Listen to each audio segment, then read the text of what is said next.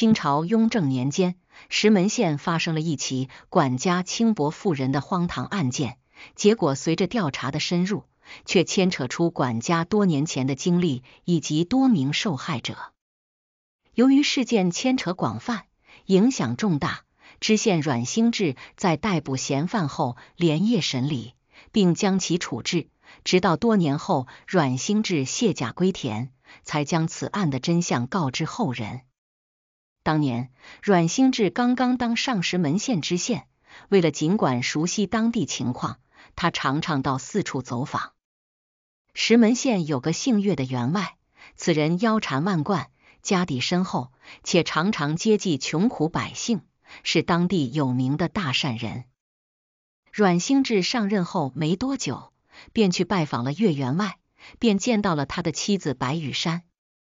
白羽山是个不到三十岁的少妇，相貌清秀，身姿婀娜，也是阮兴志见过最漂亮的女人。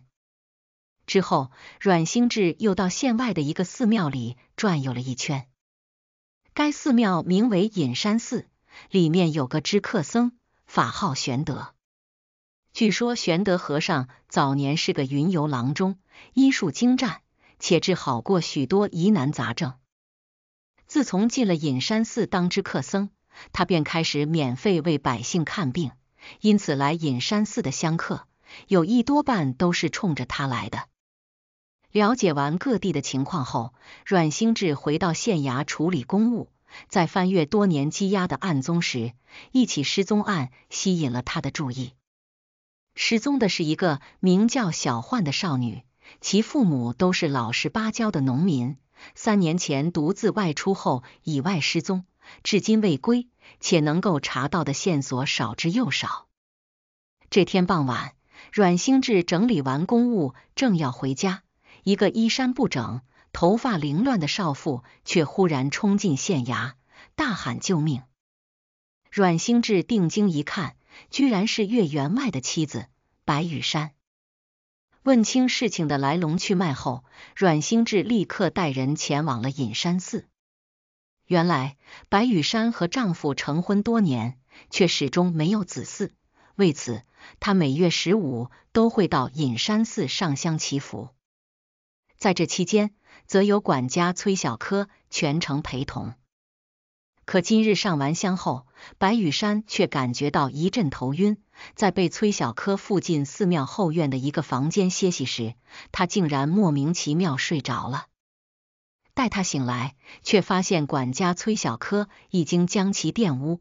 见事情暴露，崔小柯还想杀人灭口，结果不慎被白羽山逃脱。白羽山也不敢耽误，立马来到了县衙报案。阮兴志带人来到县衙后，发现崔小柯已经逃走。根据几个僧人提供的线索，官兵们顺着崔小柯逃跑的方向火速追去。好在崔小柯并未跑远，顺利被阮兴志等人抓获。回到县衙后，岳员外也听闻此事，立马赶了过来。他一边安抚妻子。一边怒斥管家崔小柯，谁知崔小柯忽然冷笑起来，哈哈哈，真是可悲呀！岳老爷，你还不知道白羽山背着你都干了什么吧？原来岳员外和白羽山成婚多年，他由于工作原因常常不着家，可怜白羽山年纪轻轻，却整日独守空房。在这期间，他无意间认识了一个名叫胡巨基的年轻书生。胡巨基虽出身寒门，且比白羽山小不少，却生得一副好皮囊，俊朗非凡。两人一来二去，便勾搭在了一起。两人常常趁着岳员外不在家，偷偷幽会。白羽山则拿岳员外辛辛苦苦挣来的钱圈养胡巨基。可天下没有不透风的墙。此事还是被管家崔小柯给发现了。得知真相后，白羽山无力的瘫倒在地，岳员外双目圆睁，气得差点吐血。阮兴志也有些无奈，立马带人逮捕了白羽山的奸夫胡巨基。就在众人以为这是一桩荒唐伦理案的时候，变数却发生了。就在阮兴志审理此案的时候，崔小柯忽然情绪失控，猛地扑向白羽山，怒吼道：“水性杨花的女人，你跟那几个人一样，都该死，该死！”阮兴志立马叫人拉开崔小柯，并发现了其中的疑点，询问崔小柯口中的那几个人是谁。本来只是一句无心的询问，可崔小柯的表现却太过紧张，他支支吾吾半天。最后，索性装疯卖傻。阮兴志也敏锐的察觉到此事定不简单。随后，他暂且将众人收押，并开始调查崔小柯的背景。经过多方搜寻，阮兴志发现崔小柯居然还有过案底。之后，他通过岳员外找到了崔小柯的老父亲，这才得知崔家本是书香门第。而崔父则是一名举人，奈何自从有了崔小柯之后，家族就渐渐没落了。好在崔小柯天资聪颖，读书也十分认真，可他的脾气却十分古怪，有些过于偏执。后来父亲为其说了一门还算不错的亲事，怎料婚后没多久，崔小柯就发现自己的妻子和隔壁邻居有染。崔小柯火冒三丈，抄起菜刀便冲进了隔壁家，砍伤了邻居。虽然并未致命，可他免不了牢狱之灾。就这样，不到二十岁的崔小柯便被关押到了监狱当中，待了足足五年。出狱后，妻子和邻居早已离去，崔小柯也没了读书的心思，整日酗酒，甚至常常打骂自己父亲。浑浑噩噩过了三年后，崔小柯在一次机缘巧合下认识了隐山寺的知客僧玄德和尚。此人既会治病，更会医心。崔小柯也在他的帮助下渐渐恢复了正常。自那以后，崔小柯每隔一段时间都会到隐山寺找玄德和尚谈心。半年后，在几个朋友的介绍下，他进入岳员外家做工。由于曾经读过书，且干活认真有条理，他很快就得到了岳员外的青睐，并慢慢做到了管家的位置。从岳员外和岳府家丁们的口中可知，崔小柯平常是个好脾气，且办事利索，待人接物十分和善。那究竟为何会让崔小柯忽然犯下糊涂事？第二天一早，阮兴志来到了隐山寺。准备找玄德和尚了解了解情况，结果庙里的小沙弥告诉他，玄德和尚已经失踪一天了。原来，在崔小柯被捕后，玄德和尚便收拾东西离开了隐山寺，谁也不知道他去了何处。要想人不知，除非己莫为。玄德和尚为何在得知崔小柯被捕后就逃走了？这一切难道只是巧合？阮兴志越想越不对劲，他查看地图，毕竟只走了一天，且从其他僧人口中得知，玄德和尚是步行离开，应该不会走太远。随后，阮兴志立马安排六名捕快，骑着快马从石门县外的六个方向出发，追捕玄德和尚。果真如阮兴志所料。此刻的玄德和尚正在一百里外的一个客栈中歇息。就在他放松警惕之际，捕快赶到，成功将其带回了县衙。一进县衙，玄德和尚立马跪在了阮兴志面前，高呼冤枉，还说所有的一切都是崔小柯逼自己做的。阮兴志眉头微皱，莫非玷污白羽山之事他也参与了？阮兴志没有回答。而是一拍案幕，双眼直勾勾的盯着玄德和尚。玄德和尚还以为崔小柯已经全部招认，吓得魂飞魄散。大人，大人，我招，我全招。尸体就在隐山寺后墙外的垃圾堆下埋着。阮兴志听后大吃一惊，怎么还有尸体？他立马带着玄德和尚回到隐山寺。并按照他的指引，从隐山寺后墙外的垃圾堆下挖出了六具已经腐烂的女性尸体。经过仵作验尸，得知六人死于不同时间段，最早的死于三年前，且正是失踪的少女小焕。至于其他五人，经过其身上残留的衣物和其他物件调查得知，均是县里独居的寡妇，且都是外乡人，跟村民们之间的交流并不是很多，因此失踪了这么久，县衙也没有接到报案。阮兴志怎么也没想到，这桩荒唐伦理案的背后，居然还隐藏着如此大的秘密。他传唤崔小柯，当崔小柯看到尸体和玄德和尚时，脸色骤变，而玄德和尚此刻也才意识到，原来崔小柯并未招供自己，他恨得直抽自己嘴巴子。可如今证据确凿，二人也无话可说。原来崔小柯出狱后，心中满是对女性的恨意，妻子出轨的事对他打击太大，他因此仇视全天下的女性。有天傍晚。崔小柯醉酒后遇到了独自在河边洗衣服的小焕，他兽性大发，将小焕打晕后拉进了一旁的草丛，将其玷污。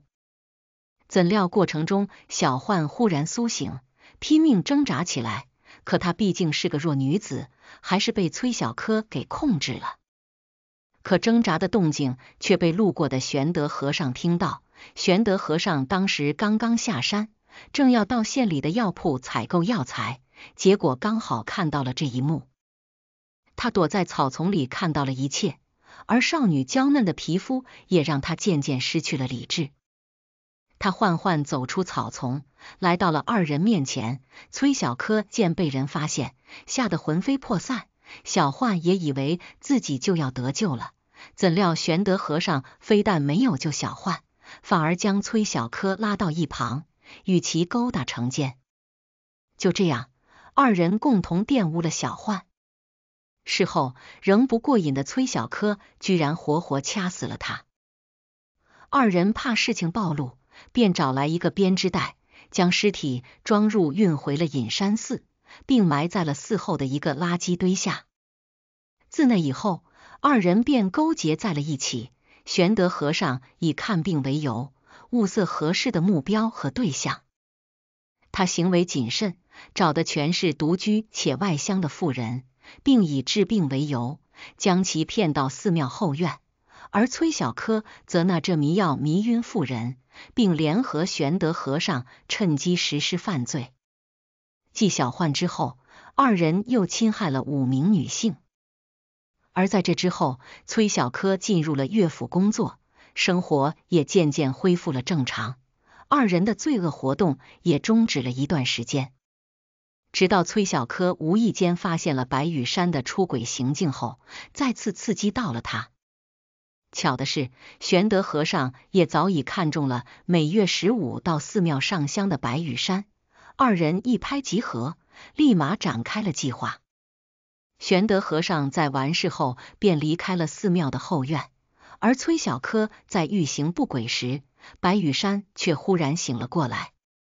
情急之下，崔小柯本想杀人灭口，可白羽山立马跪地求饶，还说一切都可以听他的，什么都可以满足他。崔小柯还没实行犯罪，便轻信了他的话，便伸手让他上床。白羽山在上床之际，偷偷拿起桌上的杯子。狠狠砸在了崔小柯的眼睛上，并夺门而出。崔小柯见状，自知暴露，他也来不及通知玄德和尚，立马翻墙而出，逃走了。不过白羽山并不知道玄德和尚的所作所为，而玄德和尚在得知崔小柯被抓后，还以为他二人的事情暴露，也立刻逃走了。结果让阮兴志发现了滑点，这才破获了此案。由于影响重大，案件审理结束后，阮兴志并未向外公布，并立刻按律处死了崔小柯和玄德和尚。至于白羽山和胡巨基，被判去一受杖，杖八十的刑罚。多年后，直到阮兴志卸甲归田，此案的真相才被揭晓。古人有云：“两情若是久长时，又岂在朝朝暮暮。”爱情就像是生命的火花，心灵的吻合。爱一个人的方式有很多，并非占有。相爱的方法也有千千万万，只有相互理解、相互扶持，才能长长久久。宋朝时期就有个书生，他捡到一个红包，结果当夜有个美女上门提亲，亡故的奶奶为其托梦，快答应。宋朝时期，靖州有个年轻的书生，名唤胡瑞凯。胡瑞凯是个孤儿，其父母在生下他没多久便去世了，是一个姓宋的老妇收留了他，并将其当成了自己的亲孙子，含辛茹苦将其拉扯长大。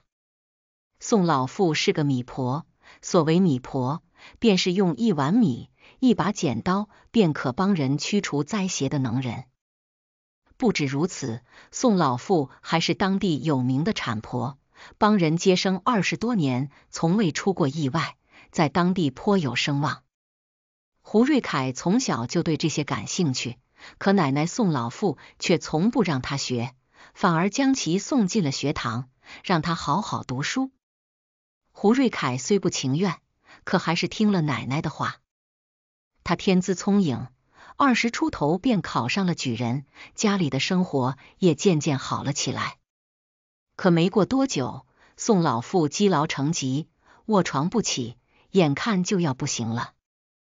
临终之际，宋老妇将孙子胡瑞凯叫到身边，给了他一个装满糯米的小荷包，并叮嘱他一定要随身携带，若是遇到什么麻烦了，就对着荷包祈福，到时他一定会出现，并帮助孙子渡过难关。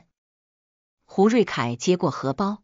轻轻将其放入怀中，他心里清楚，奶奶只是担心自己才会这样说的。他紧紧握住奶奶的手，哭成了泪人。而宋老妇也在安排好一切后，便咽气了。宋老妇出殡当日，全村的百姓皆来送行，这让胡瑞凯十分感动。可就在奶奶去世后不到一个月，胡瑞凯便遇到了一件怪事。这天傍晚，胡瑞凯正要回家，却看到镇上荣员外家挂上了白灯笼，贴上了丧字。莫非是家中出了什么变故？胡瑞凯与荣员外也算相识，当年参加乡试路上的盘缠还是荣员外赞助的。胡瑞凯见状，便掉头来到荣员外家进行慰问，这才得知原来是荣员外的独女焦琪因病去世了。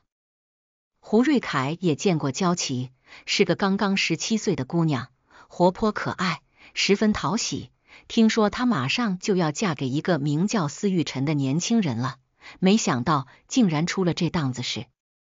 胡瑞凯慰问了一番后，便离开了。又过了几日，胡瑞凯听说焦琪的未婚夫，也就是那个叫司玉晨的年轻人，据说在得知焦琪死后，便一病不起。如今就快不行了。胡瑞凯起初并未在意，可他怎么也想不到自己居然会被牵扯其中。这天傍晚，胡瑞凯躺在床上翻来覆去睡不着，他又想起了奶奶，心情不免十分沉重。随后，他起身来到河边散步，走着走着，他忽然看到一个人影，原来是荣员外的管家。只见管家从怀中取出一物，扔到了不远处的岸边后，便扭头离开了。好奇之下，胡瑞凯走了过去，发现管家丢掉的是一个红包。胡瑞凯将红包捡起，打开后发现里面居然装着人的指甲和头发，还有一张纸条，而纸条上则写着焦琪的名字和生辰八字。胡瑞凯一头雾水。想不通荣员外的管家为何要扔掉这个东西。随后，他将红包揣进怀里带回了家，准备等第二天找荣员外问问。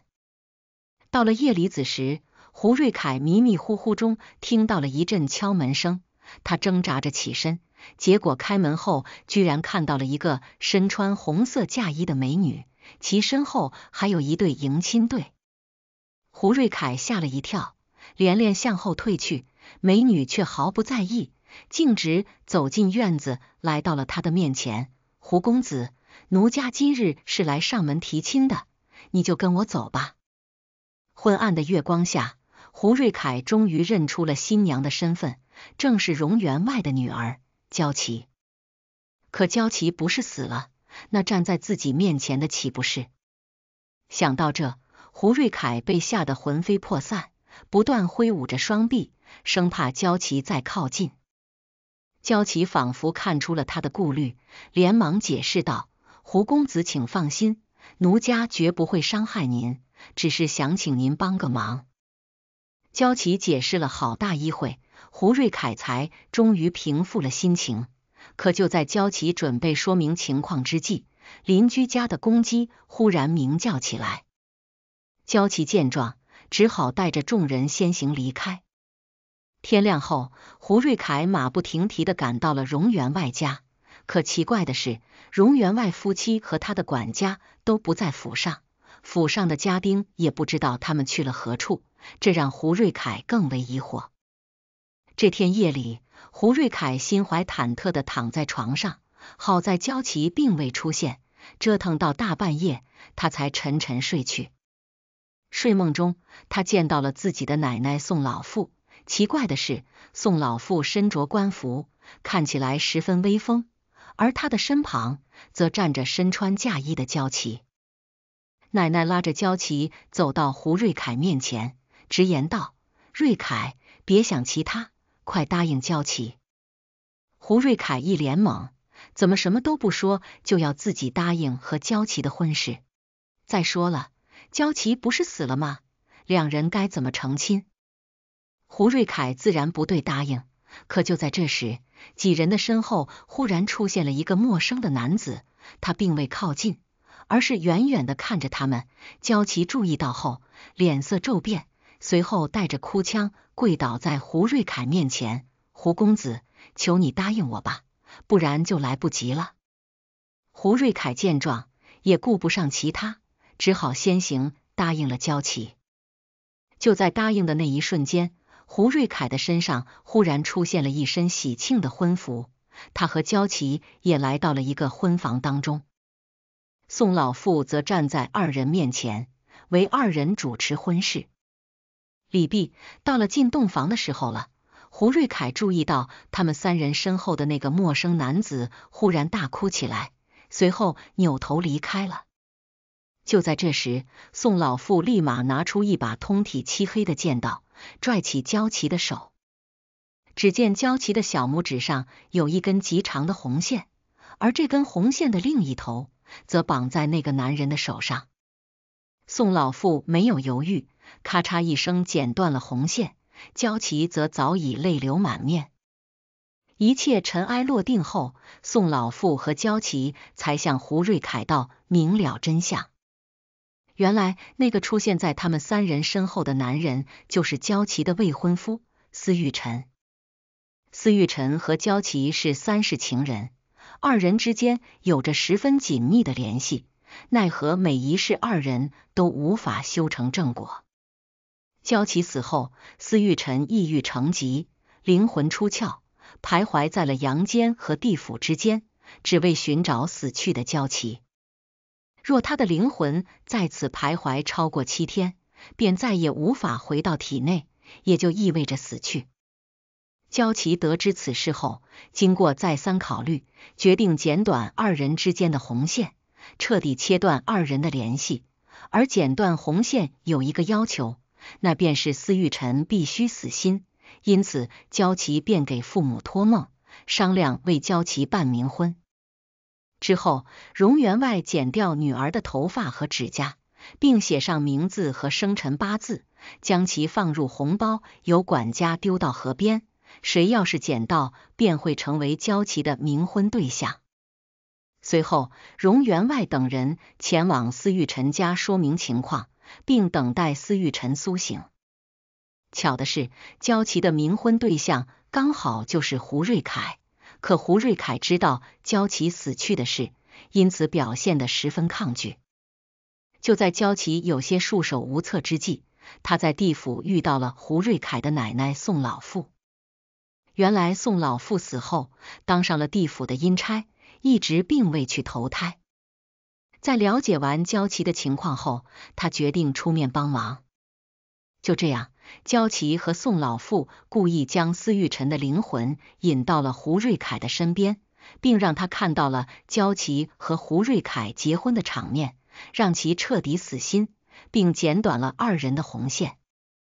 就在红线剪短了那一瞬间，司玉晨的灵魂回到了肉体，他也重新苏醒了过来，恢复了健康。且心中对焦琪的执念也全部消散，如今的焦琪也终于能够安心投胎了。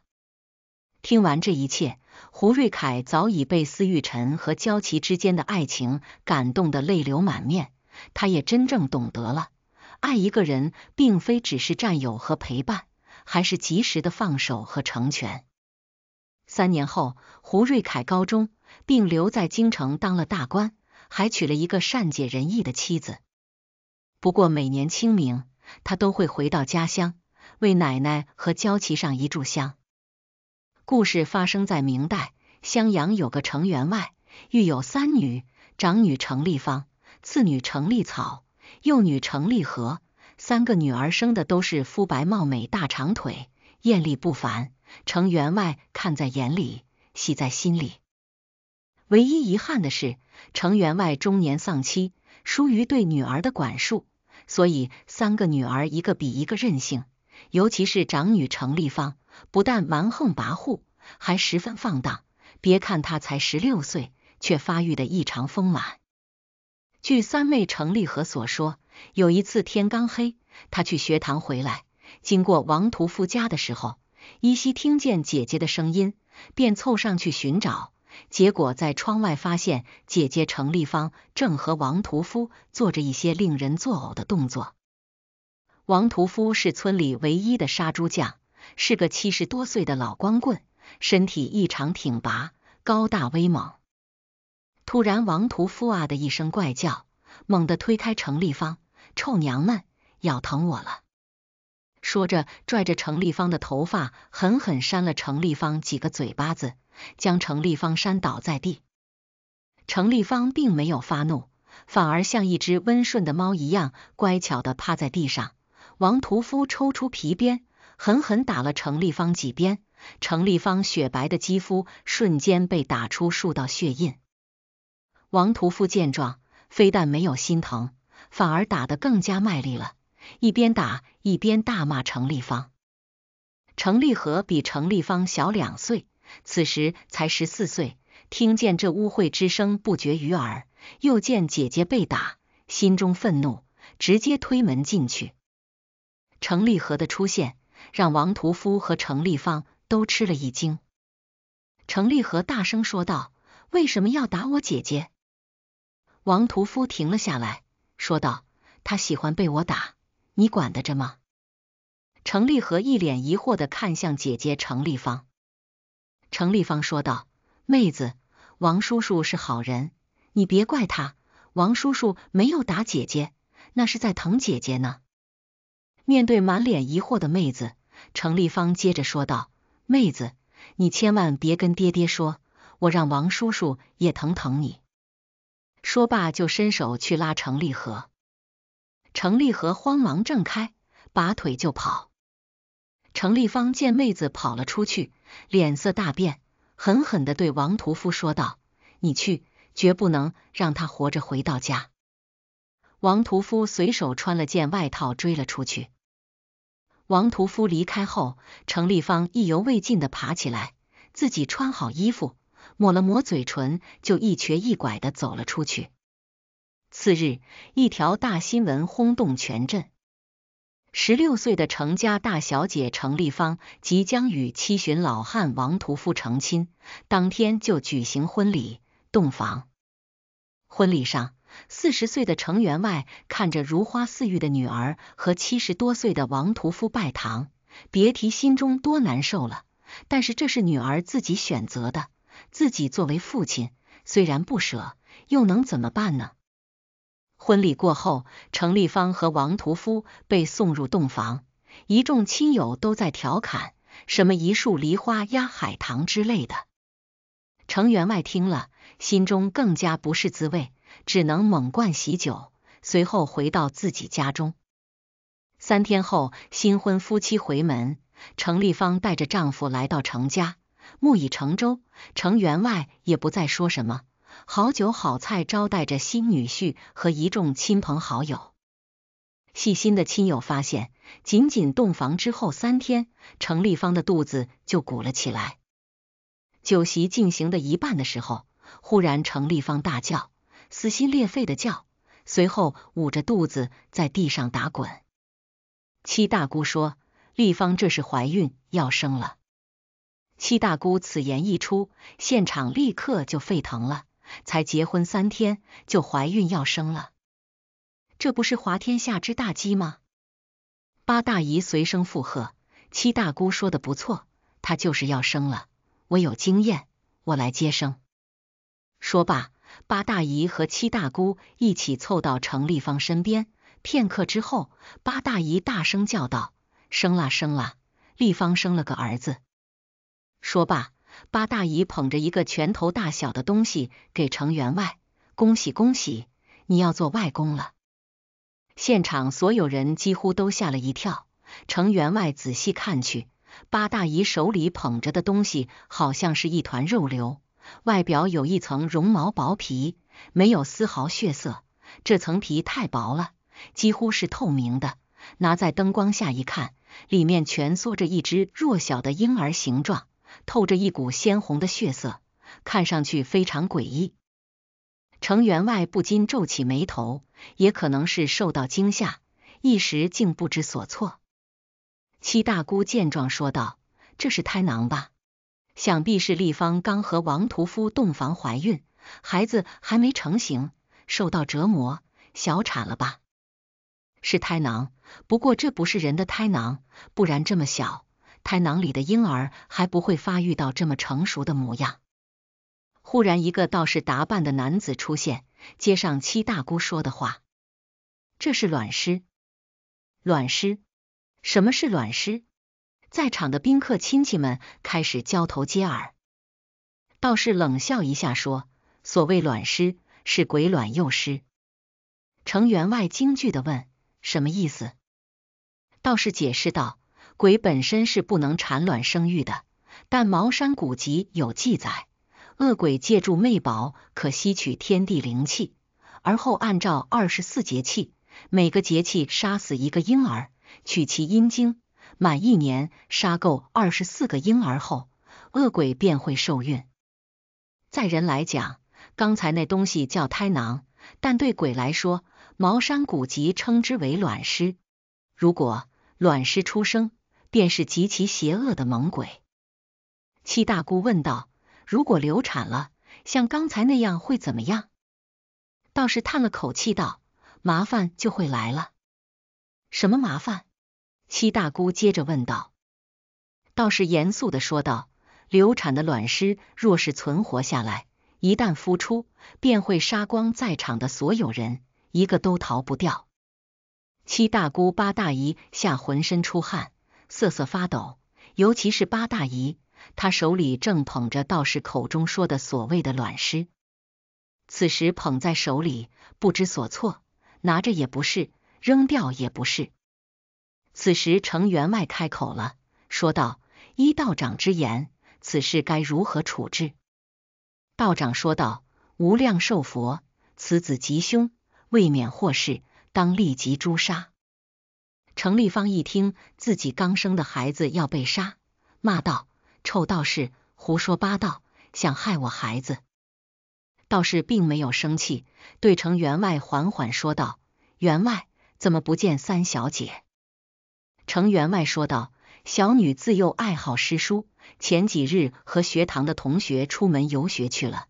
年轻人出去历练历练也好。”道士听了，缓缓说道：“恐怕不是出门游学了，而是死了。”什么？死了，道长莫要胡说。道士说道：“我有没有胡说，自然有人知道。”程员外忽然觉得一阵眩晕，可能是担心小女儿性命，险些摔倒。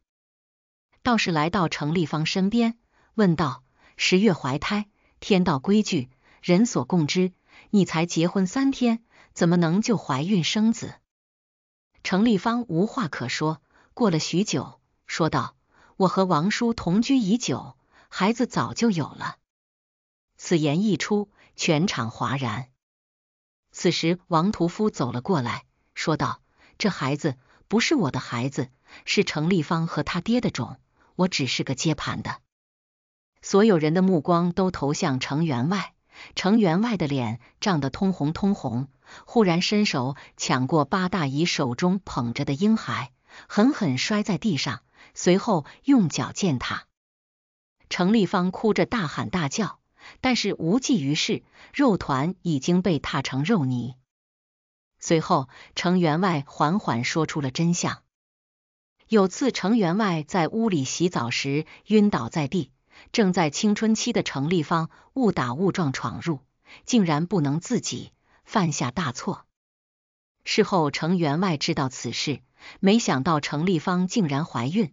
程员外知道这个孩子不能留，就让隔壁的王屠夫帮他留掉。没想到程立方为了保住孩子，竟然和王屠夫勾搭上了。王屠夫光棍多年。哪懂得什么怜香惜玉，竟然无意中把程立方弄流产了。程立方不甘心，他太想要这个特殊的孩子了，哭泣着求父亲想办法让孩子活过来。程员外心软了，他曾经听人说过治卵尸的方法，便在程立方身上做了实验，开始养卵尸。眼见程立方的肚子一天比一天大，为了掩人耳目。便把程立方嫁给隔壁的王屠夫。王屠夫生性暴力，多次抽打程立方，没想到又伤了卵尸，所以才导致卵尸早产。至于小女儿程立和，当天从王屠夫家跑出去之后，就回到家把所见的事情跟程员外说了。程员外假装不信，狠狠打了他一顿。当夜，程立方回家，把他骗到井边推了下去。倒是听完，说了句造孽啊，随后转身离去。亲友们听了之后，都咬牙切齿，痛骂程员外和程立方这对父女禽兽不如，纷纷离开。晋代时期，晋陵有个叫祝英台的年轻郎中，他医术高明，经常免费为人看诊治病，人们都称赞他医者仁心。来找祝英台看病的人。大部分都是穷人，祝英台也从不收他们医药费，导致他几乎没有什么收入，只能勉强温饱。因拿不出彩礼钱，他三十岁都不曾娶妻。一日，祝英台闲来无事去山上采药，他一大早就背着竹筐出门了。不料他到了山上以后，遇到一位正在采药的美貌少女，那少女看起来有十七八岁的样子。他采了许多珍贵药材，装满了竹筐。祝英台看到少女背起竹筐有些吃力，便上前帮忙，帮少女将采好的药送到了她住的地方。那少女自称叫紫萱，独自住在山上的山洞里。祝英台跟着少女将药材送回山洞。却发现少女居住的山洞里藏有各种各样的医书，不仅有很多失传的古书，还有很多医书是他从不曾听过的。祝英台看到那些医书，激动不已，便请求紫萱让自己留下畅读这些医书。紫萱为了感谢祝英台对自己的帮助，便同意了祝英台的要求。此后，祝英台便留在山洞之中。每日翻阅那些医书，紫萱对祝英台颇为照顾，一日三餐都会给祝英台送来。若是祝英台有疑惑不解之处，紫萱也会为祝英台答疑解惑。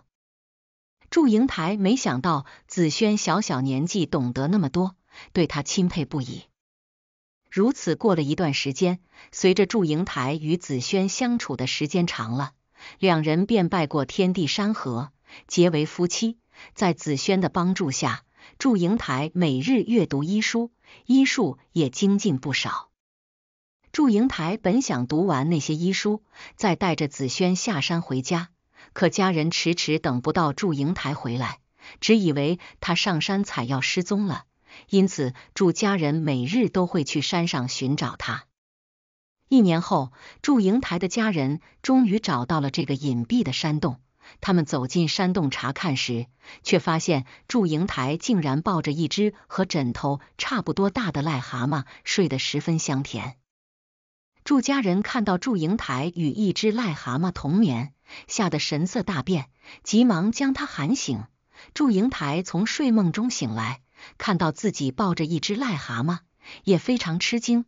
他对家人说明了自己的经历，并对家人解释道。我明明与我的妻子紫萱在一起，怎么醒来会抱着一只癞蛤蟆呢？祝英台话音刚落，只见一旁的癞蛤蟆摇身一变，竟然变成了紫萱的模样。祝英台看到这一幕，吓得脸色大变，他皱眉询问眼前的人：“你怎么会变成我妻子紫萱的模样？”“我就是你的妻子紫萱啊！”紫萱看到祝英台的家人找来。又见祝英台看到了自己的真身，便对祝英台说明了自己的真实身份。原来紫萱根本不是凡人，而是天上药仙的侍女。药仙得知祝英台经常无偿为别人看病，觉得祝英台医者仁心，有心培养祝英台，就让紫萱带着许多医书下凡，帮助祝英台提升医术。紫萱设计与祝英台相识，在接触到祝英台以后，他慢慢喜欢上了认真善良的祝英台，才与他结为夫妻。紫萱表示，他只是一个修行尚浅的小仙，而他睡着以后无法控制自己的法术，经常会显出原形。为了不让祝英台发现自己的身份，因此紫萱每次睡觉之前都会先给祝英台施法。让他无法在自己睡醒之前醒来。没想到祝英台的家人会找到他们。紫萱说明真相后，又含泪对祝英台解释道：“其实我不是故意要瞒着你的，我只是听说人类很讨厌癞蛤蟆，我怕你看到我的真身会嫌弃我，才一直瞒着你。”祝英台没想到紫萱的来历竟是这样的。他想到这些日子紫萱对自己的照顾，只觉得十分感动。他并没有嫌弃紫萱是一只癞蛤蟆，而是笑着向家人介绍紫萱，表示紫萱就是自己的妻子。家人看到祝英台平安无事，得知他的妻子紫萱还是天上的仙女，都接受了紫萱，便放心将祝英台留在了紫萱身边。在紫萱的帮助下。祝英台的医术突飞猛进。后来，祝英台看完了所有的医书，他带着紫萱下了山，夫妻俩齐心协力，救治了许许多多的人。晋朝时期，余姚有个姓唐的老汉，他早年丧妻，与女儿小素相依为命。小素芳龄十七，容貌美丽，性格温柔，因此登门求亲的人家很多。唐老汉爱惜女儿。想要为女儿挑选一个好人家，并没有随意为女儿定下亲事。一日，一个少年来到唐老汉家中提亲，他衣着光鲜，自称叫钟离梅，年方二十，家境富足。唐老汉见他姿态容貌像美玉一样，又见他送来的聘礼十分丰厚，唐老汉想要女儿过上好日子，毫不犹豫的答应了这门亲事。两家人商定婚期时，钟离梅像是特别着急，将小素娶回家，将婚期定在了七日之后，并叮嘱小素不用操心，他会将婚礼所需的东西全部准备好。婚礼前一天，钟离梅送来了成婚穿的大红嫁衣，小素看着那件华丽的嫁衣，以为钟离梅重视自己，才会准备那么好的嫁衣，她心中非常高兴。只觉得自己选对了人。到了成婚那日，小素天不亮便起床打扮自己，不料家里却发生了一件怪事。当时小素正坐在窗前梳妆，忽然听到有什么东西敲击窗户的声音。他走过去打开窗户查看，却发现窗外站着一头老黄牛。那头老黄牛直勾勾盯着小素，忽然口吐人言道。新婚夜把新郎的衣服藏起来，千万不要与他圆房，切记。老黄牛说完这句话，就转身离开了。小素听到老黄牛说话，却愣住了。一头牛怎么能说话呢？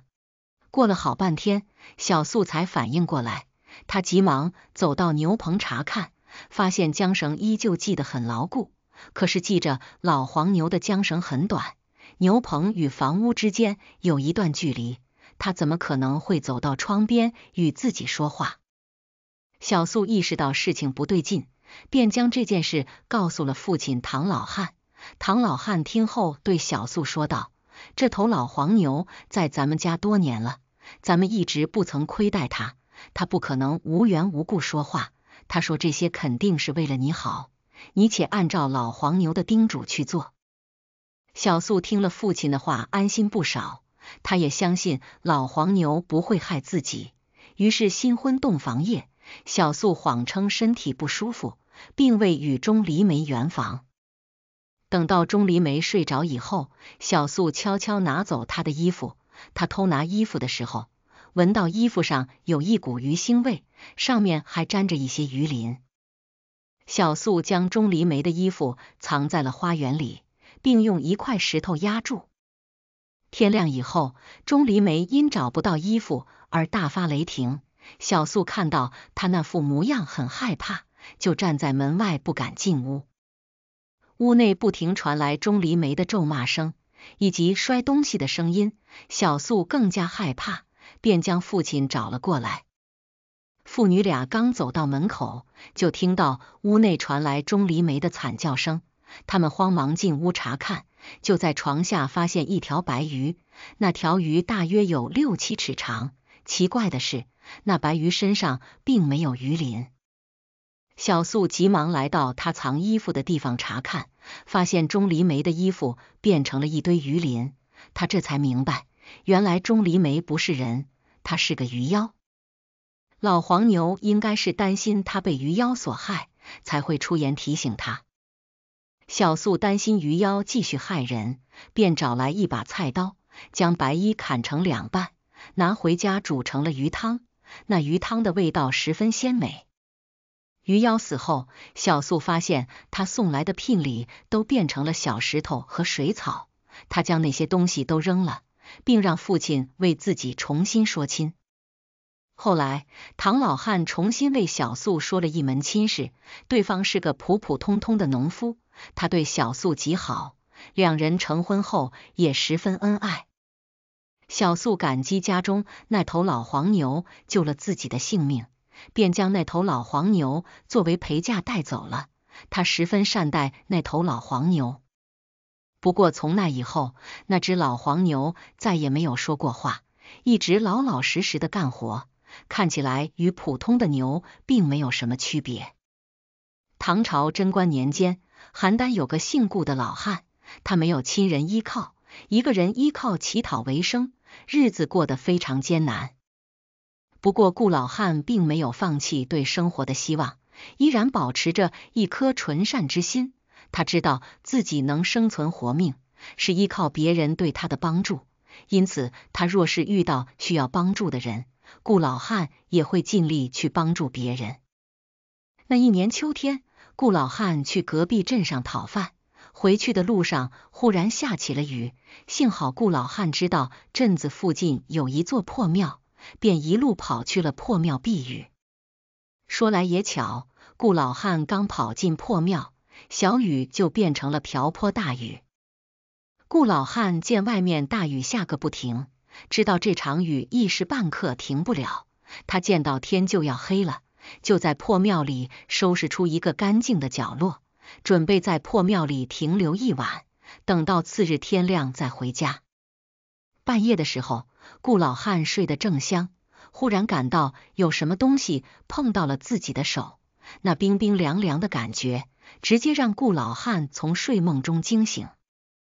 顾老汉睁开眼睛，就看到一头黑色野猪站在自己面前，那是一头母猪，它正在伸着蹄子碰顾老汉的手。似乎想要将他喊醒，顾老汉一下就认出了这头母猪。三个月前，他去树林里挖野菜的时候，意外在草丛里发现这头母猪正要生产。当时母猪有些难产，它哀叫着看向顾老汉，似乎在向他求救。顾老汉深知万物都有灵性，他看到这一幕有些不忍心，便走过去帮助母猪接生，母猪才得以顺利生产。自从顾老汉帮助过这头母猪以后，便再也没有见过他。没想到这次母猪却在半夜找到他，难道又有什么事情吗？顾老汉坐起身，借着破庙里昏黄的灯光，他仔细打量着这头母猪。只见那母猪身上一切正常。顾老汉有些纳闷，母猪为何来找自己？可他还没反应过来怎么回事，就见母猪冲着他咧嘴一笑，便驮着他从破庙里跑了出去。此时大雨还在下个不停，母猪却将顾老汉驮出破庙。跑进了雨里，顾老汉的衣服都被大雨淋湿了。秋雨寒凉，顾老汉浑身都湿透了，他在大雨里冻得瑟瑟发抖。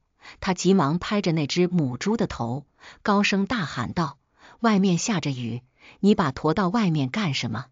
快放我下来！”那只母猪像是没听到顾老汉的话似的，根本没有停下的意思。他一直驮着顾老汉往前跑了一段距离，大概离破庙有七八丈那么远，母猪才停了下来。顾老汉从母猪背上跳下来，生气的踹了母猪一脚，又骂了母猪几句。他正要转身回破庙休息，却听到轰隆一声，那座破庙瞬间倒塌了。顾老汉看到这一幕，极为震惊，他呆呆站在原地。好半天都没有反应过来，看着变成一片废墟的破庙，顾老汉吃惊的看了那头母猪一眼，他这才知道自己误会母猪了，是母猪救了他的命。那座破庙年久失修，被大雨冲塌也是正常的，若不是母猪及时将他从破庙里驮出来，他就要在那座破庙里丧命了。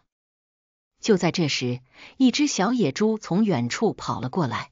它不知从哪里衔来一把雨伞，母猪接过那把雨伞，递给顾老汉，随后就带着小母猪离开了。顾老汉看着一大一小两只野猪离开的背影，心里只觉得感慨万千。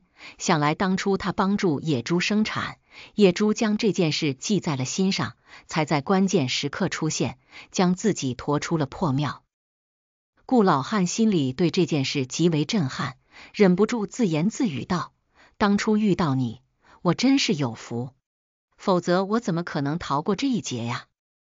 后来，顾老汉撑着那把雨伞，顺利回到了家。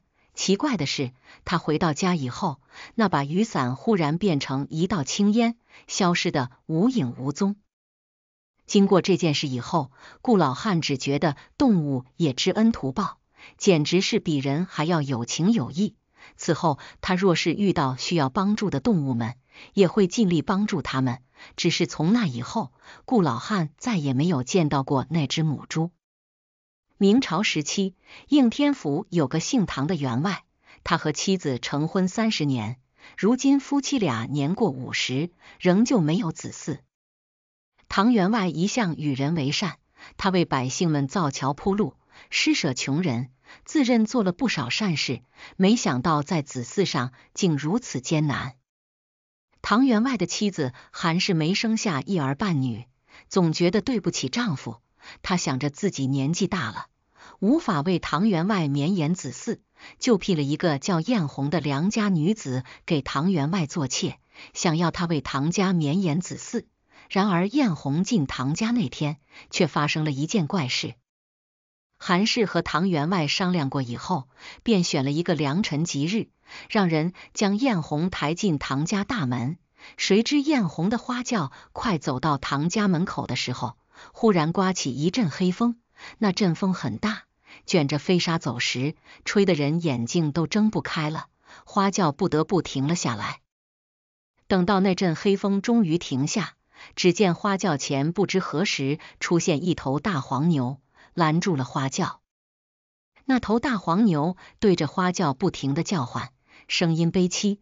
花轿里的艳红听到大黄牛的叫声，也掩面痛哭起来。唐家仆人担心误了吉时，急忙上前想赶走那头大黄牛。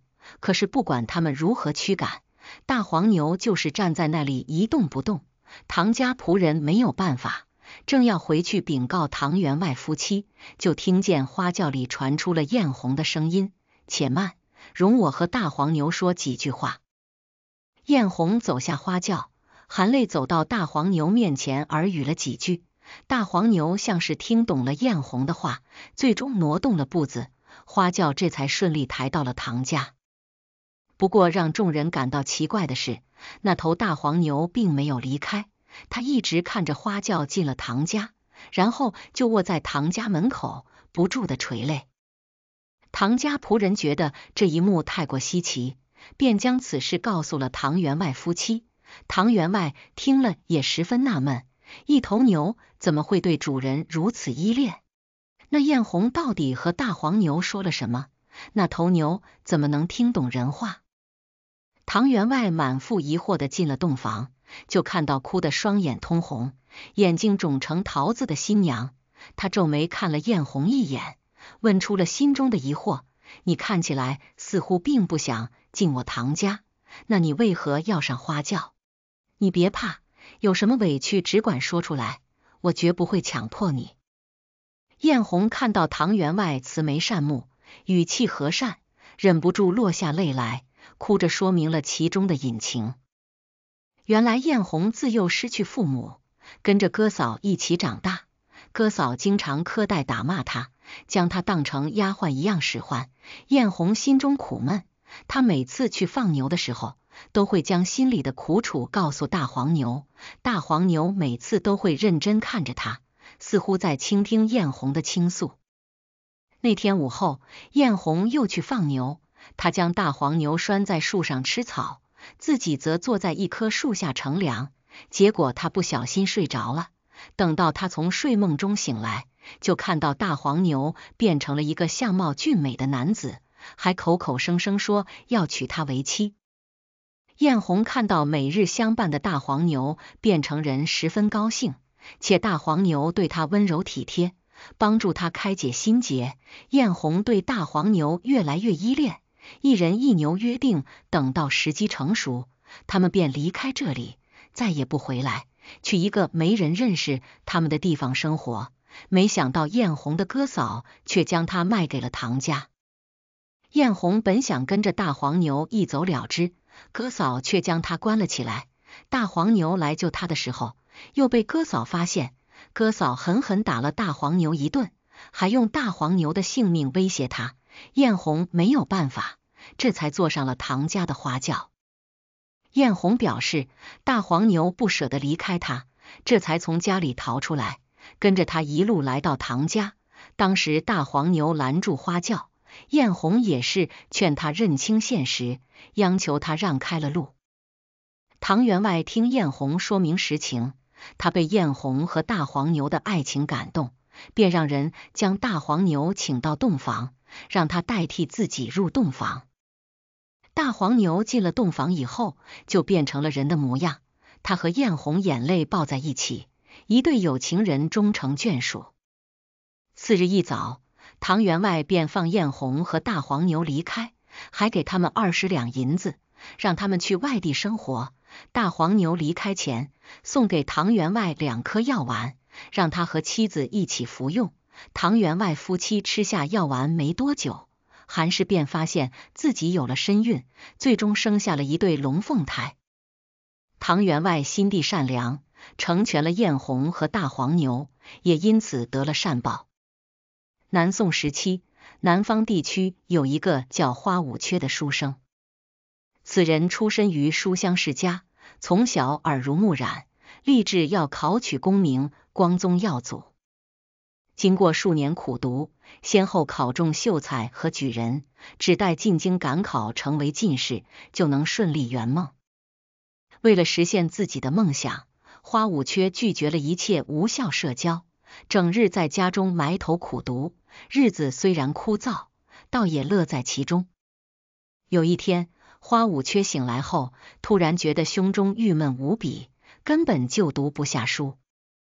多番尝试无果后，花无缺放下书，走出家门，向着城外的山中而去。一进山，花无缺就感到心旷神怡，心中的郁气消散不少。他开始在山中闲庭信步，尽情享受着难得的闲暇时光。突然，花无缺听到一声凄厉的惨叫传来，他心头一紧，立马掉头朝着山下跑去。刚跑没几步，花无缺就看到一头遍体鳞伤的苍狼从林子里窜到了自己的身前。不知为何，那苍狼看向花无缺的眼神里充满了乞求。下一刻，一头黑色的大熊赶过来，一掌朝着苍狼的脑袋上拍去。花无缺心中猜想，若是这一掌拍实了，这头苍狼必然会瞬间殒命。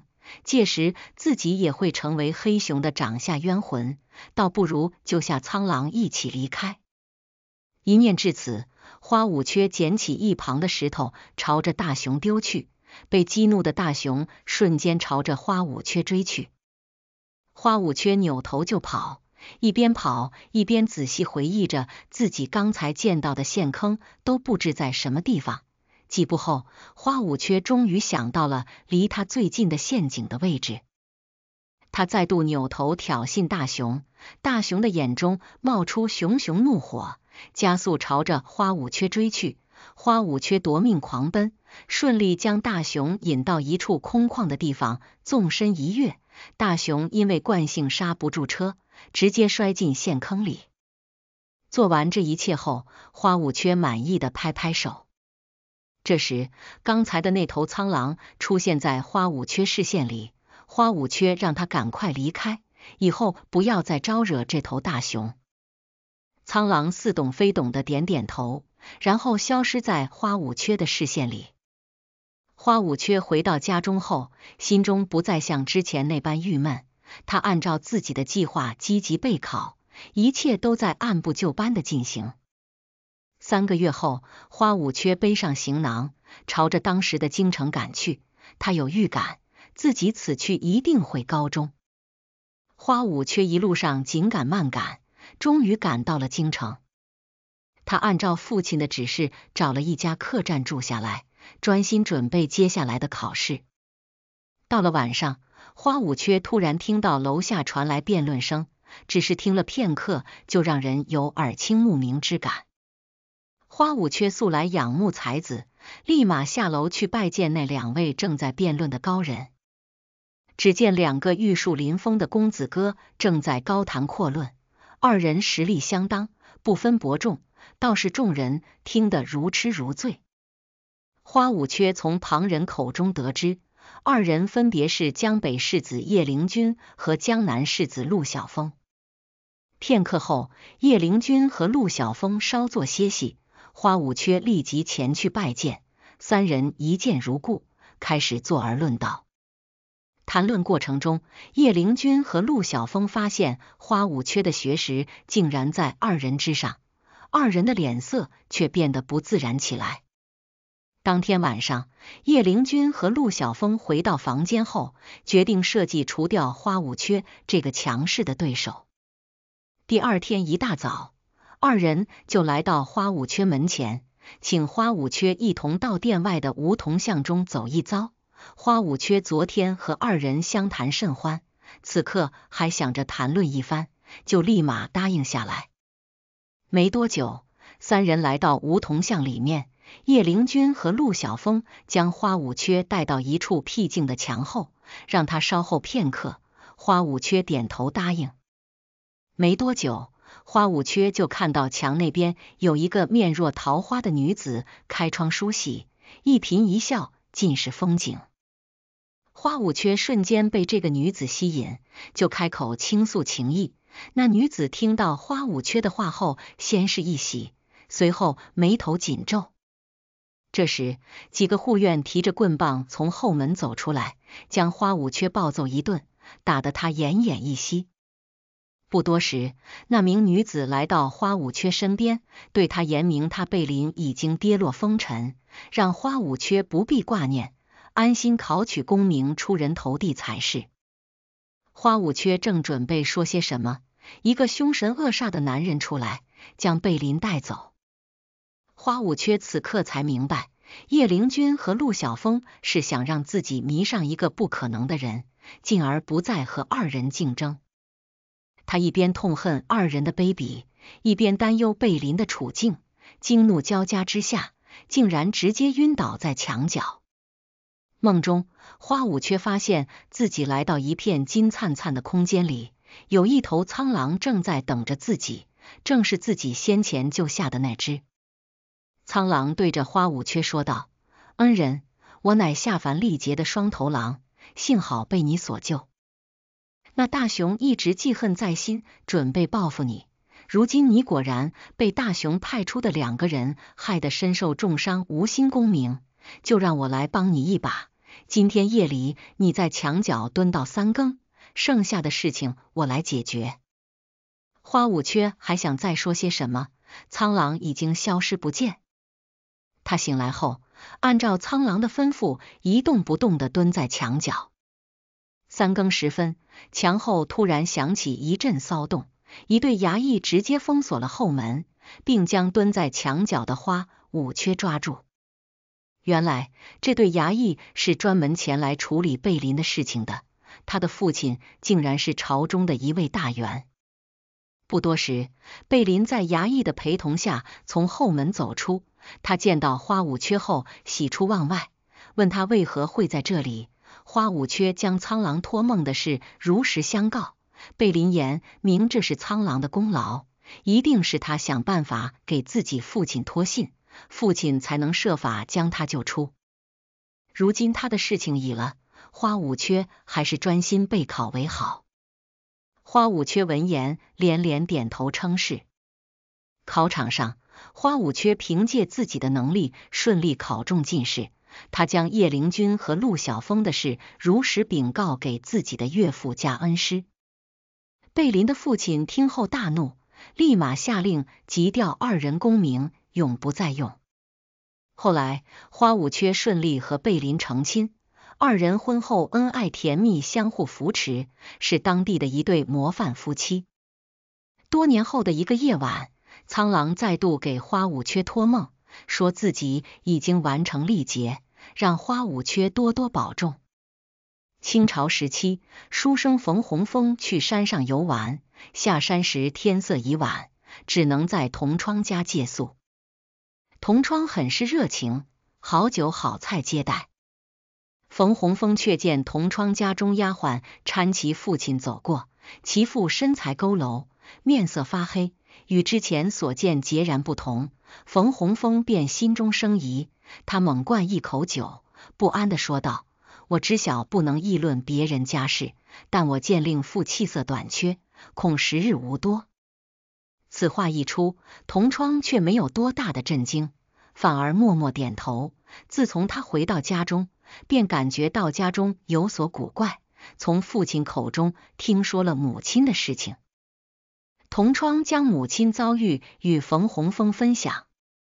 在二月，母亲回娘家途中遭遇到一件怪事。原本是黑夜，却突见眼前一片光明，犹如白日。眼前出现一片竹林，竹子转瞬间枯萎，只剩下最高大的那棵还青翠。却听见竹子之中有女婴哭泣，母亲便将竹子砍断。竹筒中出现一手掌大小的婴儿。母亲早年丧女，其母亲心生怜悯，顿觉欢喜，便将那女婴带回家中。不出半月，女婴就已经长到成年大小，且每日睡醒后，被窝都会出现一枚金元宝。靠着这些莫名出现的金元宝，他们家逐渐富裕。可又过了半月。女婴便已经成为老人模样，然后逐渐死去。死后，身体化为一棵竹笋，被母亲埋到后山。因为再一次失去孩子，母亲逐渐变得痴呆，且行为怪异，每顿饭都要吃竹笋。长久之后，父亲也病重，原本身材高大的父亲像是被吸干一般，变得矮小。没有精气神，查不出病因。因为在外经商，听闻父亲倒下，同窗近日才回到家中，所以他的身体没有出现任何症状。听罢，冯洪峰眉头紧皱，却见其母亲从厨房出来，端来一盘炒竹笋，让二人吃下。冯洪峰看同窗母亲容光焕发，没有丝毫萎靡不振的样子，可身材却很是消瘦，面色惨白。竹笋炒得漆黑，没有胃口，同窗却全部吃下，其母亲这才高兴离去。冯洪峰感觉奇怪，便嘱咐同窗道：“小心你的母亲。”同窗大手一挥，毫不在意。冯洪峰便回到房中睡去。第二日清晨，同窗呕吐不止，黑血从嘴巴喷涌而出，昏死过去。冯洪峰见状。将自己随身佩戴的符纸拿出来，咬破指尖画符后，符纸燃烧，灰烬融入水中，给同窗服下去，同窗这才悠悠醒来。外面下起大雨，雨后在同窗呕吐的位置，竟突然生长出一棵竹笋，竹笋很大，有半人高。随着落雨停下，刹那间，女婴的哭声从竹笋内部传来。同窗母亲欣喜若狂的跑过去，将竹笋抱在怀中，不断亲吻。随后，竹笋被割开，手掌大小的女婴被拿出来，面色红润，很是喜庆。冯洪峰被眼前所见惊呆，料定此事肯定不简单。只见同窗母亲竟直接开始哺育女婴，因为没有奶水，女婴大哭。同窗母亲竟直接将自己手掌割破，用鲜血喂养。冯洪峰见状，便慌忙给家中父亲写了一封信，信中提到自己所见，寻求解决之法。三日后，回信中提到一种叫做光虫的生物，晴天会寄生在竹子中，等待人路过后，吸取人的意识和精气，从而变成人形。生命只有月余，但会蛊惑人类，使其用鲜血喂养，死前变成竹子，经由过路的人畜吃掉，从而繁衍下一代。冯洪峰将书信内容念给同窗听，同窗见母亲已经脸色苍白，很快就要血流干而死，便着急问道解决之法。冯洪峰手中书信突然掉落一枚土色葫芦口哨。便将其拿起吹响，刹那间，口哨声响彻天际，惊起飞鸟，声音浑厚，犹如远方天边的钟声。女婴开始哭泣，随即眼泪犹如雨水般落下，身体逐渐干枯死去。原来光虫害怕强烈的响动，它们听觉发达，所以在雷雨天之中不会出现。只能出现在安稳的下雨天。同窗母亲恢复神智，一脸茫然的看向二人。同窗为了感谢冯洪峰，送其三枚金元宝。冯洪峰婉拒。冯洪峰见事情已经解决，长舒一口气，收拾行李离开。冯洪峰走后，同窗来到竹林，正下大雨。他将那干枯的竹笋埋入泥土之中，刹那间土层被破开，一个发光的竹笋从土中钻出来，竹笋内部传来女婴的哭泣声：“金元宝，我要金元宝，我要发财！”同窗将镰刀将竹笋割开，将女婴掏出来后，将手掌划破，用鲜血哺育女婴。第二天。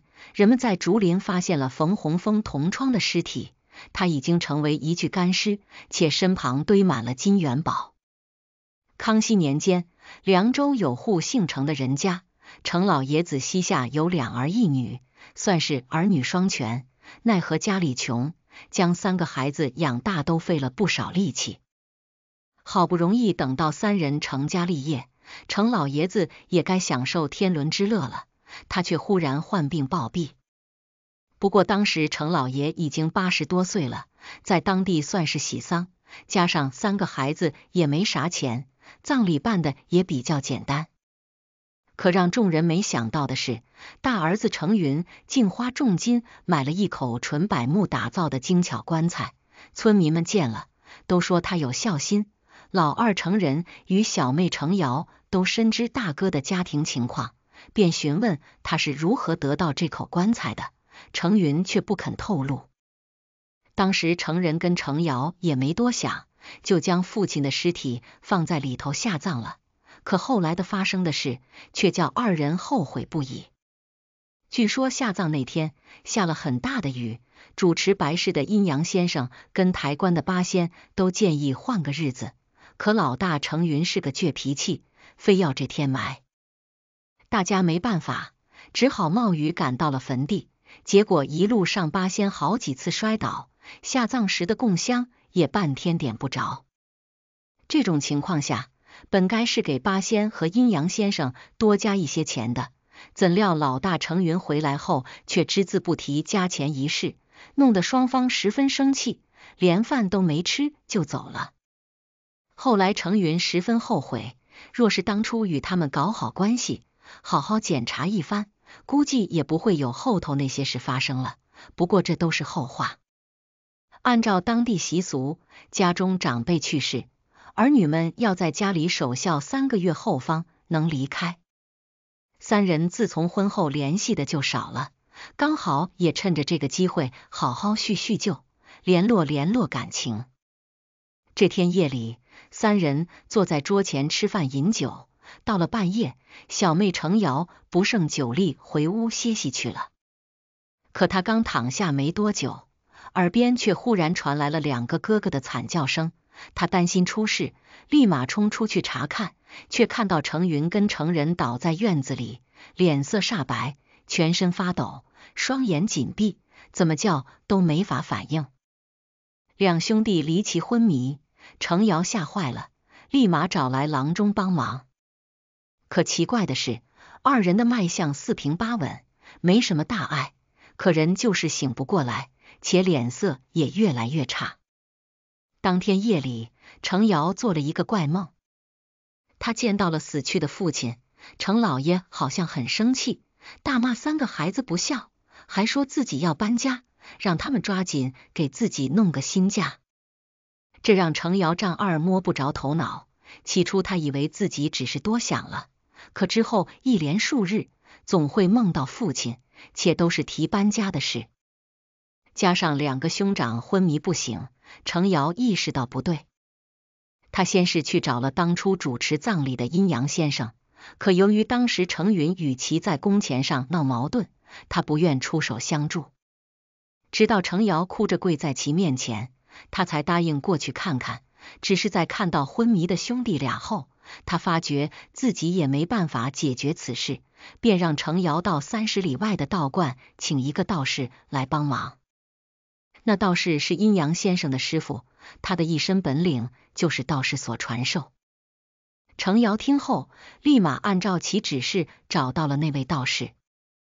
这位道士须发皆白，气质脱俗，颇有仙人之姿。在得知是徒弟所求，他便跟着程瑶赶到了村中。他先是为兄弟俩检查了一番，断定二人是被摄魂了。就在道士准备施法将二人的魂魄引回来的时候，程瑶在一旁又讲述了自己梦中王父要求搬家的情况。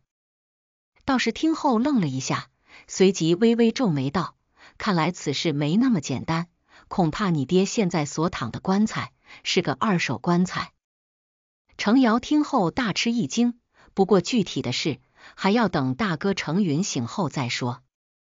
道士让程瑶准备了公鸡血以及朱砂、黄纸等物，随即在院中开坛做法。到了傍晚时分，道士才满头大汗的停下了手上的动作，而程云和程仁此刻也终于醒来过来。二人表示，那晚他们喝酒到半夜，一起到院中撒尿的时候，忽然看到有个老头在自己家中转悠。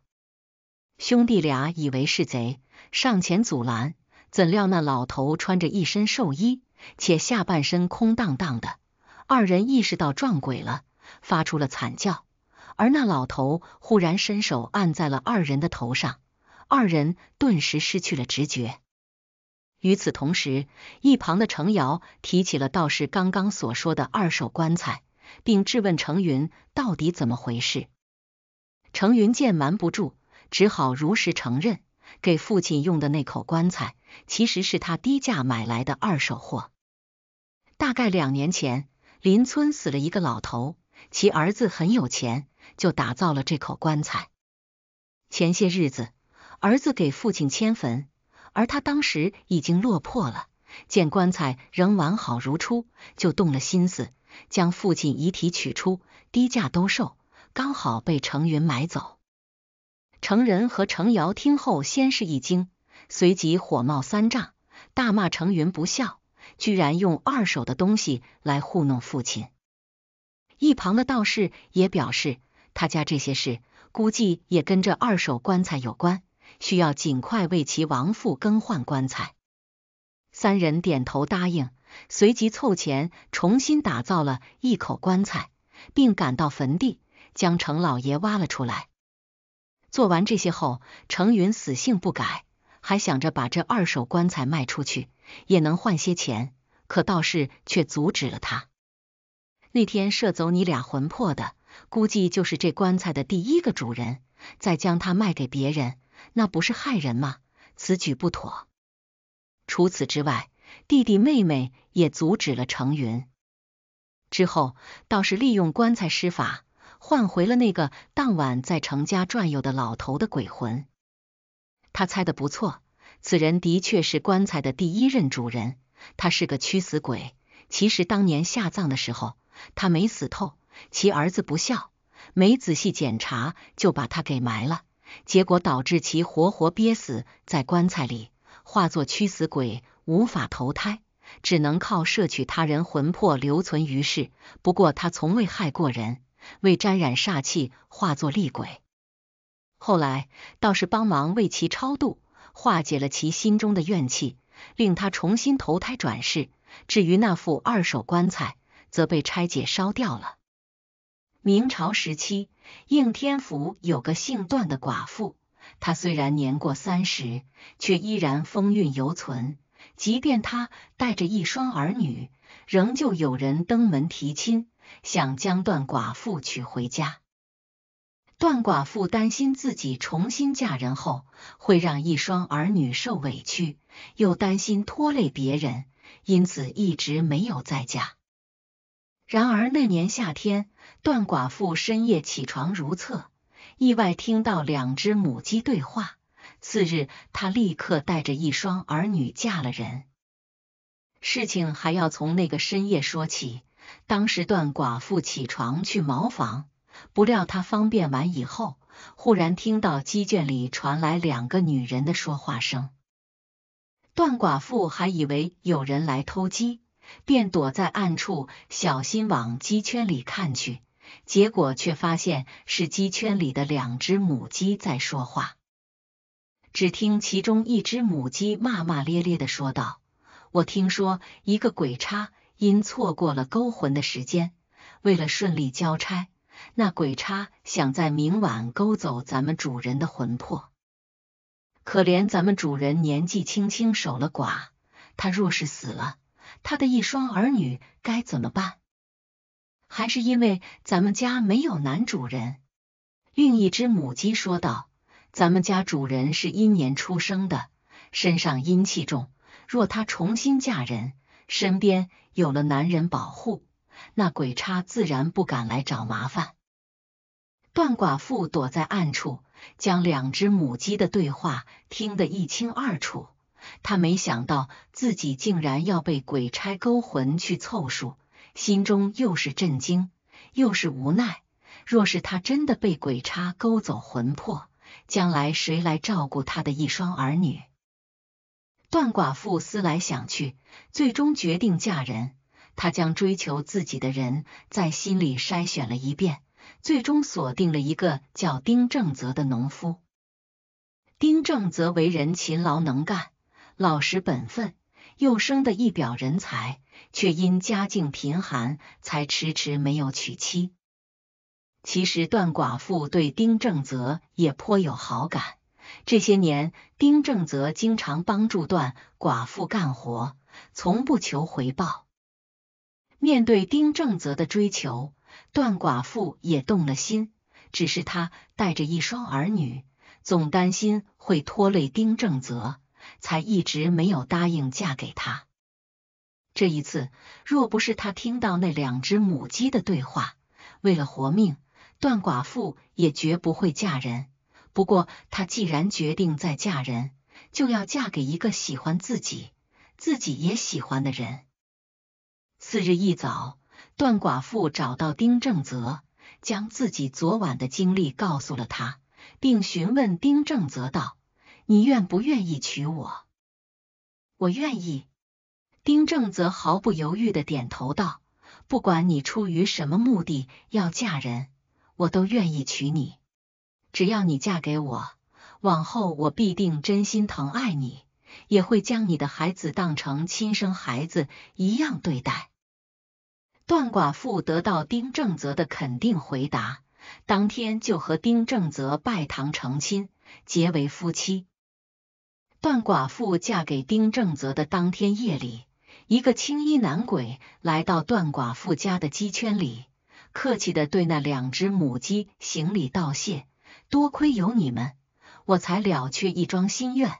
现在我终于可以转世投胎去了。主人，你太客气了。其中一只母鸡对男鬼说道：“当初我们姐妹因小时候长得不好，被原来的主人丢弃，是你将我们捡回来，养活了我们。没有你就没我们的命，我们为你做什么都是应该的。”原来这个男鬼就是段寡妇故去的丈夫吴俊义。吴俊义死后，担心妻儿，才迟迟没有转世投胎。吴俊义将丁正泽对妻子的帮助看在眼里，知道丁正泽是个值得托付的人。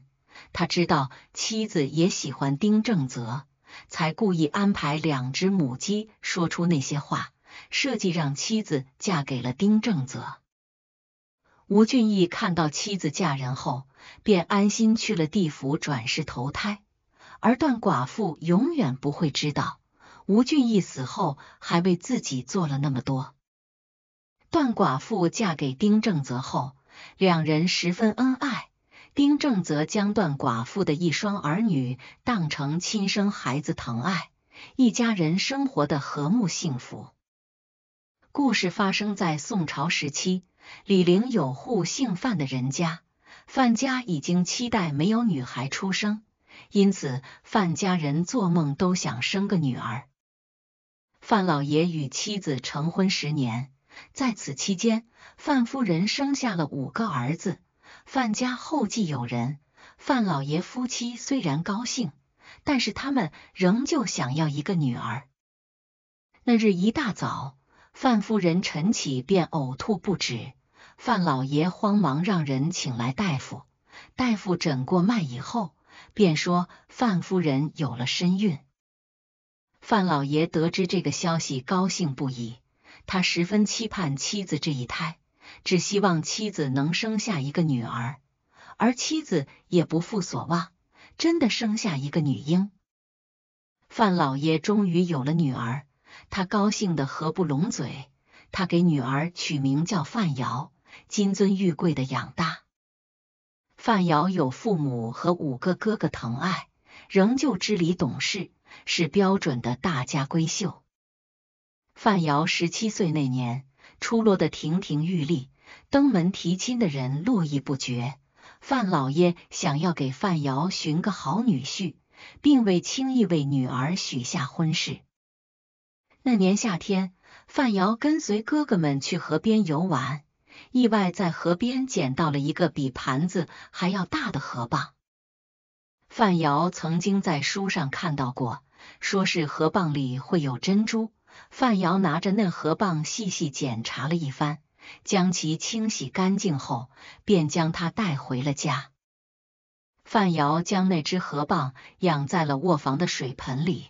他本想等到次日约闺中密友一起前来打开河蚌。不料当天夜里，那河蚌竟然变成了一个俊俏的小伙。那男子穿着一身白色衣衫，含笑站在床边，对范瑶说道：“我是你夫君，你怎么能想着害我呢？”当时范瑶被河蚌吵醒，他得知眼前的男子是河蚌所化，心中十分害怕。听到河蚌这么说，范瑶更是惊慌不已。他担心河蚌欺负自己，慌忙对河蚌说道：“我与你素不相识。”你怎么可能是我的夫君？不如明日我就将你放生，求你不要伤害我。白衣男子见到范瑶如此害怕自己，先是安抚了范瑶几句，才叹息着对范瑶说道：“你还记得五年前你去河边玩耍，被河蚌夹伤的事情吗？”范瑶想了想，他记得确实有这件事，便点了点头。白衣男子见状，不好意思的对范瑶说道：“加伤你的那只河蚌就是我呀。其实我叫何意，是那条河里的一位小仙。”何意表示，他当时正在河边晒太阳，没想到范瑶忽然将他拿了起来，他受到了惊吓，这才加伤范瑶，趁机逃走。而范瑶被河蚌加伤。握着受伤的手指，哭得十分伤心。我回到河里以后，看你哭得那么伤心，我就后悔了。何意深情的看着范瑶说道：“其实我见到你的第一眼就喜欢上了你，我当时并没注意拿起我的人是你，加上你只是我下意识的行为。这些年，我心中一直惦记着你，只想再见到你。”没想到我们真的有缘再见，更没想到你会将我带回家。范瑶听到何意的深情告白，不由羞红了脸。他没想到何意钟情自己多年，更没想到自己随手捡了一只河蚌，却捡了一位神仙回家。何意拿出一颗比鸽子蛋还大的深紫色珍珠，递给范瑶，并笑着对他说道。这些年，我已经将你看成我的妻子，并发誓非你不娶。这是我体内最大的一颗珍珠，上面还刻着你名字。若是你愿意嫁给我，便收下这颗珍珠。往后我一定好好护着你，绝不让你受半分委屈。范瑶见何意如此真诚，被何意的真心打动，他收下了珍珠。还带着何意去见了父母，父母得知何意是河中神仙，又得知他钟情自己的女儿多年，都认为何意有眼光。范家人见何意生的面观如玉，相貌堂堂，最终同意了这门亲事。何意顺利娶到了范瑶，两人拜堂成亲，结为夫妻，过上了幸福安稳的生活。五十年代初期，街头出现了许多挑着担子四处招揽生意的剃头匠。他们的摊位不固定，基本上是走到哪剃到哪。这些剃头匠大都干练，脸上挂着笑容，仿佛有种与生俱来的亲和人，总能让人放心坐在他的面前，让其拿着剃刀在自己头顶肆意工作。马成风小时候记得很清楚，他第一次见到剃头匠是在七岁那年，只因那年是爷爷第一次同意带自己出门，因此他对世间的一切都很好奇。当时爷孙俩来去村外赶庙会，在离开之际，爷爷发现不远处有个剃头匠正在招揽生意。爷爷摸了摸已经变长的头发。便上前跟剃头匠打招呼，准备剃个头。剃头匠脸带笑容，恭敬的请对方坐下。在询问价钱的时候，剃头匠却摇了摇头，还说只要他不满意，就不收钱。爷爷一听很是满意，便闭眼享受起来。一旁的马成风见状，才发现剃头匠不止剃头。还负责修面等工作。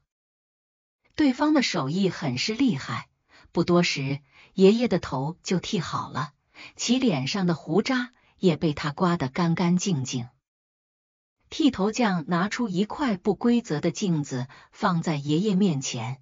爷爷低头凑上去看了好久，才露出了笑容，并对着剃头匠竖起了大拇指。可就在爷爷感觉满意，准备付钱之际，剃头匠却忽然开口拒绝了他。随即目光落在了蹲在一旁玩耍的马成风，轻笑道：“我不要钱，我要你孙子。”听到这话，爷爷瞬间变了脸色，一把拉起马成风，并指着剃头匠大骂了几句。怎料对方却毫不生气，只是默默收回了自己的工具，随即一脸奸笑：“七天后我再来。”言罢，剃头匠头也不回的就走了。马成风看着其背影，非但不害怕。反倒有些憧憬，只因从小到大，在这个家里，他过得并不开心。爷爷对他很是严苛，家里的重活累活完全没有因为他是个孩子就能逃掉，而爷爷也不允许他出门，只要不听话，就是一顿毒打。为此，马成风反倒十分期许外界的生活，想到若是能被剃头匠带走。跟着他四处流浪，摆脱爷爷，倒也不算坏事。回到家后，爷爷的气仍未消除，奶奶听到动静，连忙走了出来。看到奶奶，马成风赶忙扑了过去，跳进了其怀中。别看马成风的爷爷已经六十好几了，其奶奶居然很是年轻，不过才三十多岁。马成风经常听村里人说，奶奶程氏其实是爷爷从外头拐回来的。关于这个流言，马成风也十分信服。只因奶奶对爷爷没有爱意，只有惧意，而爷爷只要不顺心，就会将城市当作出气筒，一顿暴打。且爷爷只要出门，就会用一条很粗很沉的锁链绑住城市的一条腿。言归正传，看到爷爷如此生气，城市抱起马成风，试探着上前安抚。爷爷稳定了片刻，随即将遇到剃头匠后所发生的事告诉了程氏。怎料程氏听后，竟发出了一声惊呼：“怎么了？有啥不对？当家的，你你忘记七天后是啥日子了？”七天后，哎呀，我怎么把这事给忘了？原来七天后便是民间常说的鬼节。这天是鬼门大开的日子，也是百鬼行走于世的机会。那剃头匠早不来晚不来，偏偏挑鬼节这天再来，其中必然有蹊跷。更诡异的是。当程氏问起二人是否还记得剃头匠的相貌、年龄时，爷孙俩面面相觑，竟同时摇了摇头，好像那人的容貌一瞬间从自己脑海中被抹除了一般。程氏见状，脸色微变，直言二人怕是遇到鬼剃头了。那个剃头匠恐怕就不是人，放在鬼节来。怕是要强行带走马成风。听到这话，爷爷虽呵斥了程氏一番，认为他在危言耸听，可额头的冷汗证明他也有些担心。要知道，爷爷对传宗接代很是重视，虽说平日里对待马成风不算太好，可将来还是指望他给马家传宗接代，并给他养老送终的。思虑片刻，爷爷起身出门，准备去找村里的徐半仙帮忙。徐半仙是村里的阴阳先生，驱邪辟煞、算卦求福都是他的看家本领。加上他在江湖上颇有威名，也给村里人处理过不少难题。因此大家都称呼其为徐半仙。随后，爷爷让程氏准备了半筐子鸡蛋，带着去了徐半仙家。一直到半夜，爷爷才赶回家。只是他进门前，养在院子里的小黑狗忽然朝着门口乱叫。这小黑狗是半年前马成风捡回来的，当时他倒在马家门口，马成风发现它还有气息后，就将其带回家救治，没想到还真救活了。只是爷爷并不喜欢这只小黑狗，甚至好几次都想将其丢出去。好在都被马成风发现，这才没让爷爷得逞。爷爷进门后，见小黑狗仍叫个不停，飞起一脚，直接把它给踹飞了出去。那小黑狗发出呜呜两声，便躲进了墙角，不敢再叫了。程氏听到动静，揉着眼走出房间，可他没看爷爷，反倒目不转睛的盯着那只小黑狗。怎么样？徐半仙怎么说？走进屋说。爷爷拉着程氏钻进了房间。至于马成风，他刚才听到动静，也被吵醒了。见爷爷奶奶进屋，他便凑到门边偷听。徐半仙说：“我跟程风八九不离十，碰上鬼剃头了。不过那鬼法力还不足将程风带走。”只是鬼节那天就不好说了，那怎么办？放心，徐半仙说了，只要熬过那一天就没事了。爷爷表示，徐半仙说，鬼节那天阴气是一年中最重的时候，那时所有的鬼魂法力大增，就会想法子作乱。不过他有一法能让那个剃头匠没法进他马家的门。他让爷爷第二天一早去赶早市，找一个卖肉的屠夫，把他用来剁肉的砧板买走，用桃木钉将其钻个孔，挂在自家门口。至于这砧板，最好是沾血的，没被清洗过的。程氏听后点了点头，二人这才安心睡下。至于门外的马成风。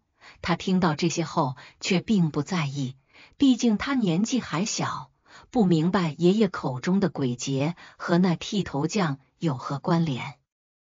第二天一早，爷爷便带着马成风出门了。爷孙俩在早市上闲逛了很久，终于停在了一个肉摊前。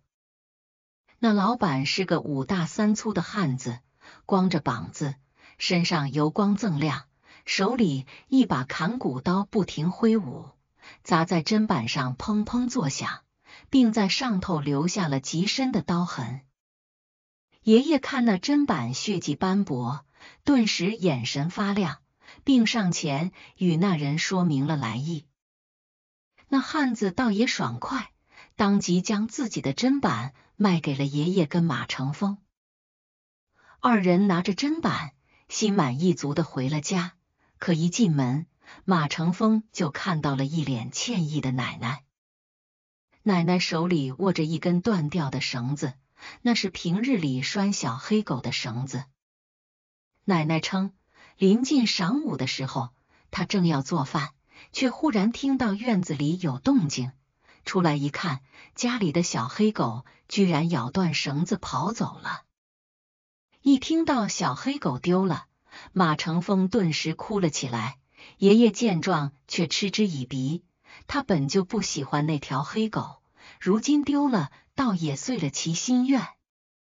之后，他无视哭泣的孙子，转头进屋忙活了起来。不一会，买回来的砧板就被钻出了一个孔。爷爷拿出早已准备好的桃木钉，穿过钻好的孔洞。将其钉在自家的门框上。在其忙活期间，程氏还在不停的安慰孙子马成风。眼看马成风哭个不停，他神秘兮兮的凑到其耳边，轻声道：“乖，不哭，等鬼节过去，小黑就回来了。”小黑是马成风对那小黑狗的别称。见奶奶一脸信誓旦旦，马成风便相信了他，这才停止了抽泣。之后几日一直平安无事，不过在临近鬼节的前两日夜里，马成风却总是做一个诡异的梦。梦中他好像再次见到了那个剃头匠，只是他的脸好像被一团黑雾给包裹住了，怎么也看不清其面容。剃头匠仿佛在呼喊自己，可奇怪的是，他叫的却是另一个名字。这让马成风一头雾水。就在这时，他好像看到爷爷出现在了那个剃头匠的旁边，可下一秒，剃头匠却忽然拿出自己给人剃头的刀子，猛地扎进了其脖子。下一秒，无数鲜血从爷爷脖子的伤口处喷涌而出，马成风也猛地从梦中惊醒。不过他没敢将这梦告诉爷爷，他害怕爷爷说自己咒他死，惹来一场毒打。很快到了鬼节这天，按照当地习俗，白天人们是要去祭拜逝者的。爷爷一大早就让程氏准备了贡品和香烛纸钱，随即带着二人来到了后山的坟场。这里埋葬的。正是马成风从未见过的父亲。可马成风一直很奇怪，为何此地只有父亲的坟，却没有其母亲的坟？每当问起此事时，爷爷反倒很不耐烦，而奶奶则是一脸惆怅的别过脸，什么都不肯说。慢慢的，马成风也习惯了，就不再多问。坟场里上坟的人很多。不过，大家在看到爷爷领着程氏和马成风的时候，却都低着头议论纷纷，也没人愿意上前与其打招呼。爷爷也懒得搭理众人，上完坟后便急匆匆带着二人离开了。在走出坟场的时候，马成风好像听到一句闲话：“真是禽兽，连自己儿媳都抢。”马成风一头雾水。他抬头看向爷爷，爷爷的额头青筋凸起，一跳一跳的，显然被激怒了。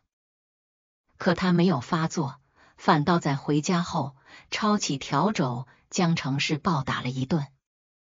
很快入夜，这天便是那个剃头匠所说要再来的日子。爷爷入睡前检查了一下门框上的砧板，在确定没问题后，才松了口气。马成风也早早睡下了。到了半夜，一阵阴风忽然吹开了马成风的房门，屋内的温度忽然降低了很多。明明是三伏天，他却被冻醒了，且连打喷嚏。就在他打算裹紧被子的时候，迷迷糊糊中好像看到一道身影出现在家门口。昏暗的月光下，他认出了那人的背影。正是奶奶程氏。奇怪的是，他搬来梯子，好像将爷爷挂在门框上的砧板给取下来了。马成风当时困得不行，就没放在心上。他倒头再次睡去，迷迷糊糊中，他又梦到了那个奇怪的剃头匠。可这一次，他看清了对方的面容，对方一脸慈祥的看着自己。且眉眼间与其很是相像，更让马成风震惊的是，那剃头匠居然喊他儿子。等马成风醒来，已经日上三竿。他刚走出房间，就看到了一群身穿制服的警察和正在哭泣的城市。城市看到马成风，哭着上前将其抱入了怀中。与此同时，马成风看到一群身穿白大褂的人抬着担架从爷爷房间走出，担架上躺着一个人，一脸惊恐，四肢扭曲，正是爷爷。几个跟程氏差不多大的妇人来到马成风面前，拿出了一张照片，上面是一个男人抱着一个婴儿，而那人正是马成风梦中那个剃头匠。事到如今，一切终于真相大白。原来爷爷的真实身份其实是个人贩子，程氏跟马成风都是他拐来的。程氏一开始是被他拐来给自己儿子当媳妇的，可儿子不争气，婚后没几年就去世了。爷爷为了给马家留后，居然不知廉耻的霸占的儿媳。可爷爷年老，有心无力，而他在一次外出之际。居然抱走了一个剃头匠刚满月的儿子，并起名马成风，将其当孙子留在了身边。至于那个剃头匠，也就是马成风的亲生父亲，据说这些年一直在找儿子的下落，可在不久前失足掉进水库淹死了。马成风震惊不已，愣在原地，眼泪不停涌出。程氏则上前将其抱入怀中。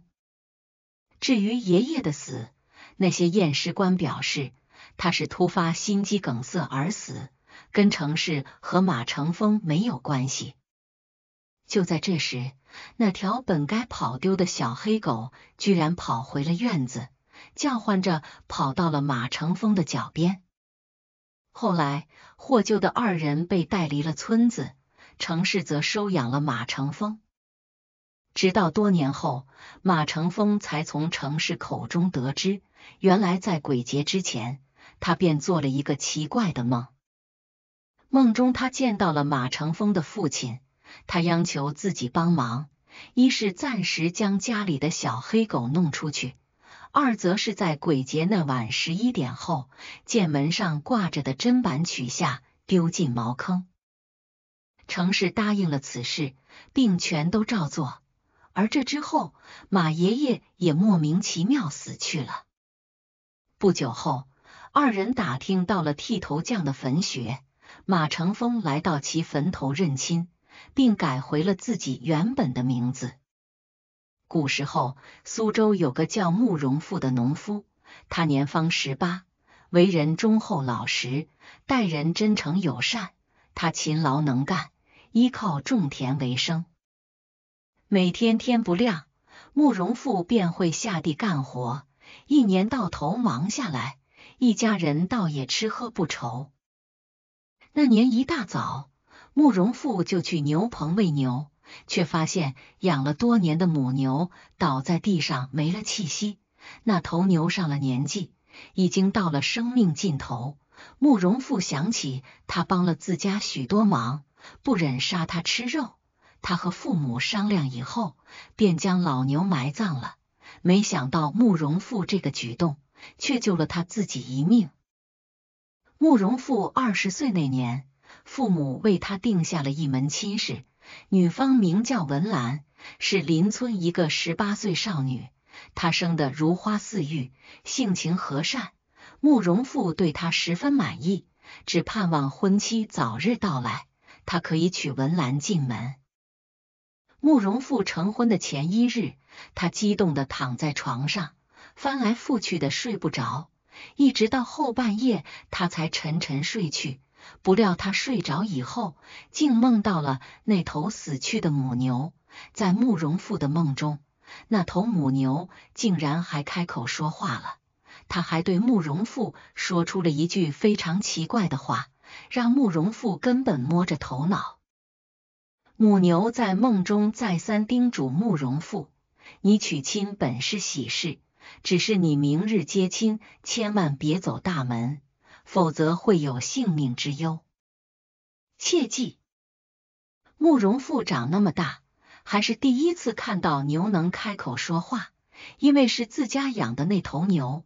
慕容复看到牛说话，也不觉得害怕。反而开口询问那头牛：“你为何能口吐人言？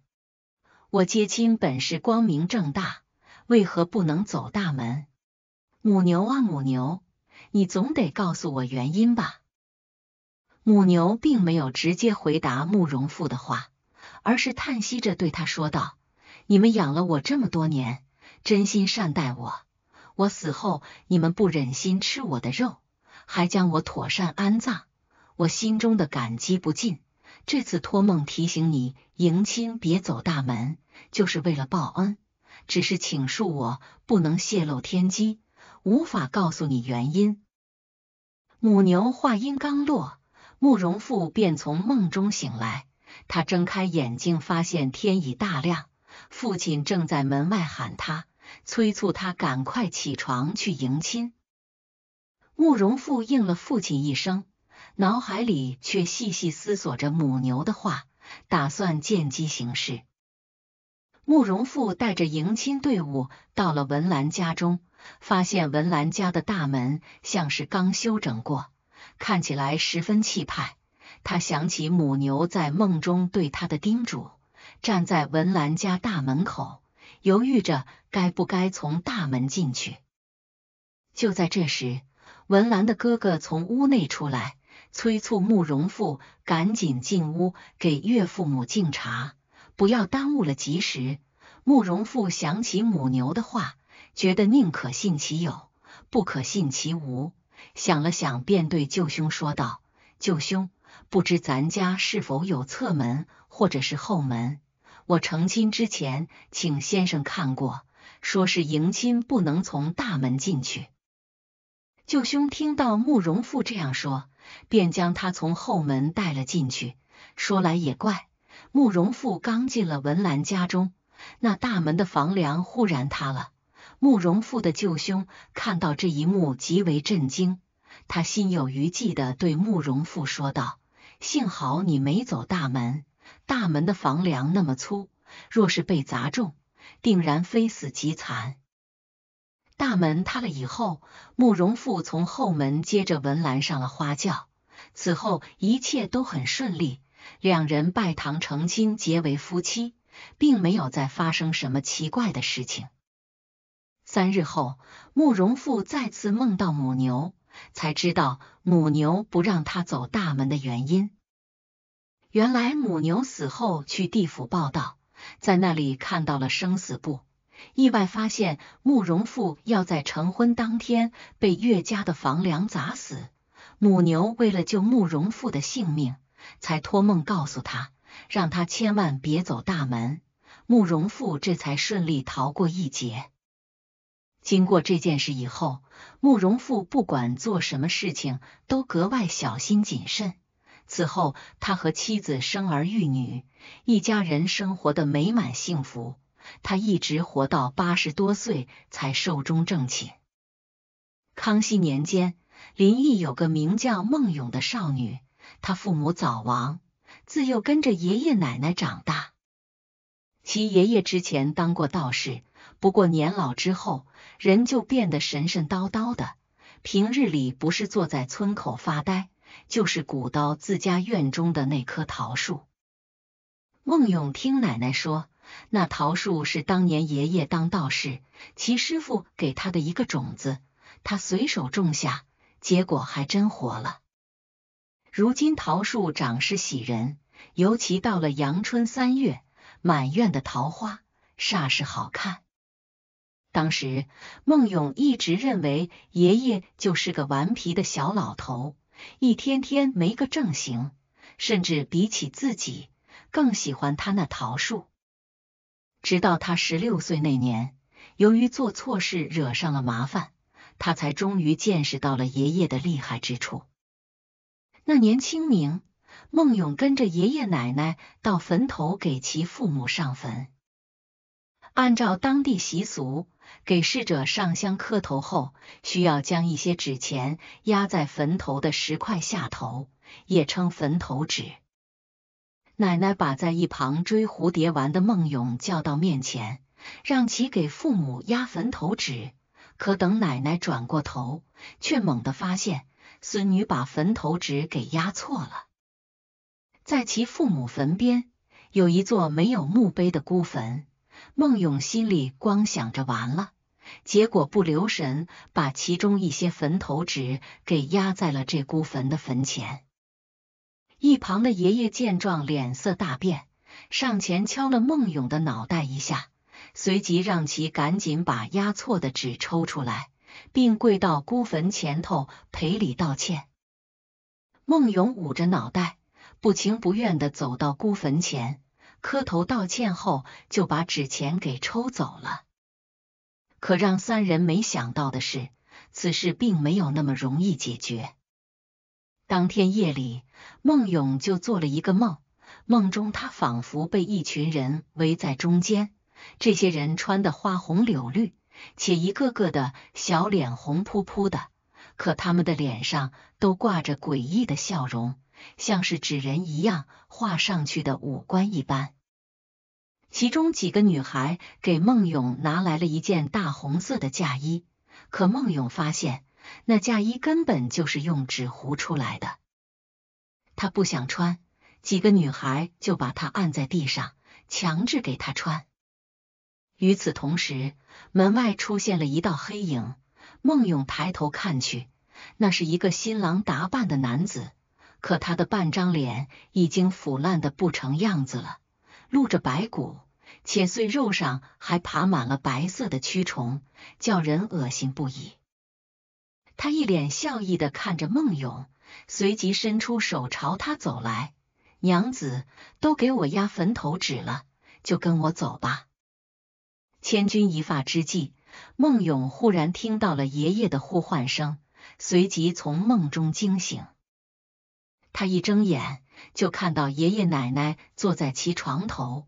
一脸担忧的看着他，他本以为自己只是做了个噩梦，直到爷爷伸手指向窗外，只见他家的院子里凭空多出了一个花轿。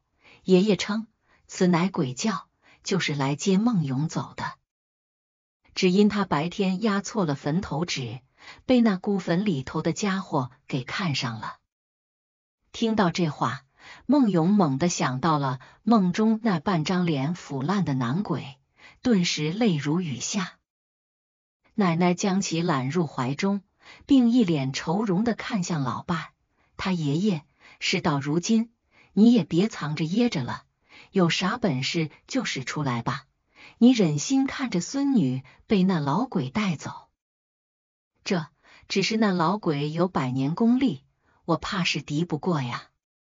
说着，爷爷陷入了沉思。不过，在走到窗户边的时候，他的余光瞥向了院中的桃树。爷爷顿时计上心来，他立马找来一根红线，一头绑在孟勇的手腕上，一头则出门绑在了桃树的树干上。随即开口道：“快跟我到院中的桃树前磕头。”孟勇听后，立马按照爷爷的说法。冲到了桃树前头磕头。至于爷爷，他则双手掐诀，一边围着桃树转悠，一边念诵咒语。就在这时，院中忽然刮起一阵旋风，一朵桃花从树干落下，刚好落在了孟勇的额头上。再看后头那个鬼花轿，已经消失不见了。孟勇这才松了口气。可爷爷的话又让他愣住了。原来为了救他，爷爷不得已暂时让其跟着桃树定了亲。人跟桃树定亲，他怕是古往今来第一人。不过没多久，他就接受了此事。只因在一天夜里，他梦到了一个身穿白衣、一身桃花香的英俊男子，他自称就是院中桃树。之后，二人便一直在梦中相会。神奇的是，几年后，未曾成亲的孟勇竟然怀孕了。其孩子出生在下着雪的冬天，可在孩子落地那一刻，院中的桃树居然瞬间开满了桃花，仿佛也在庆贺一般。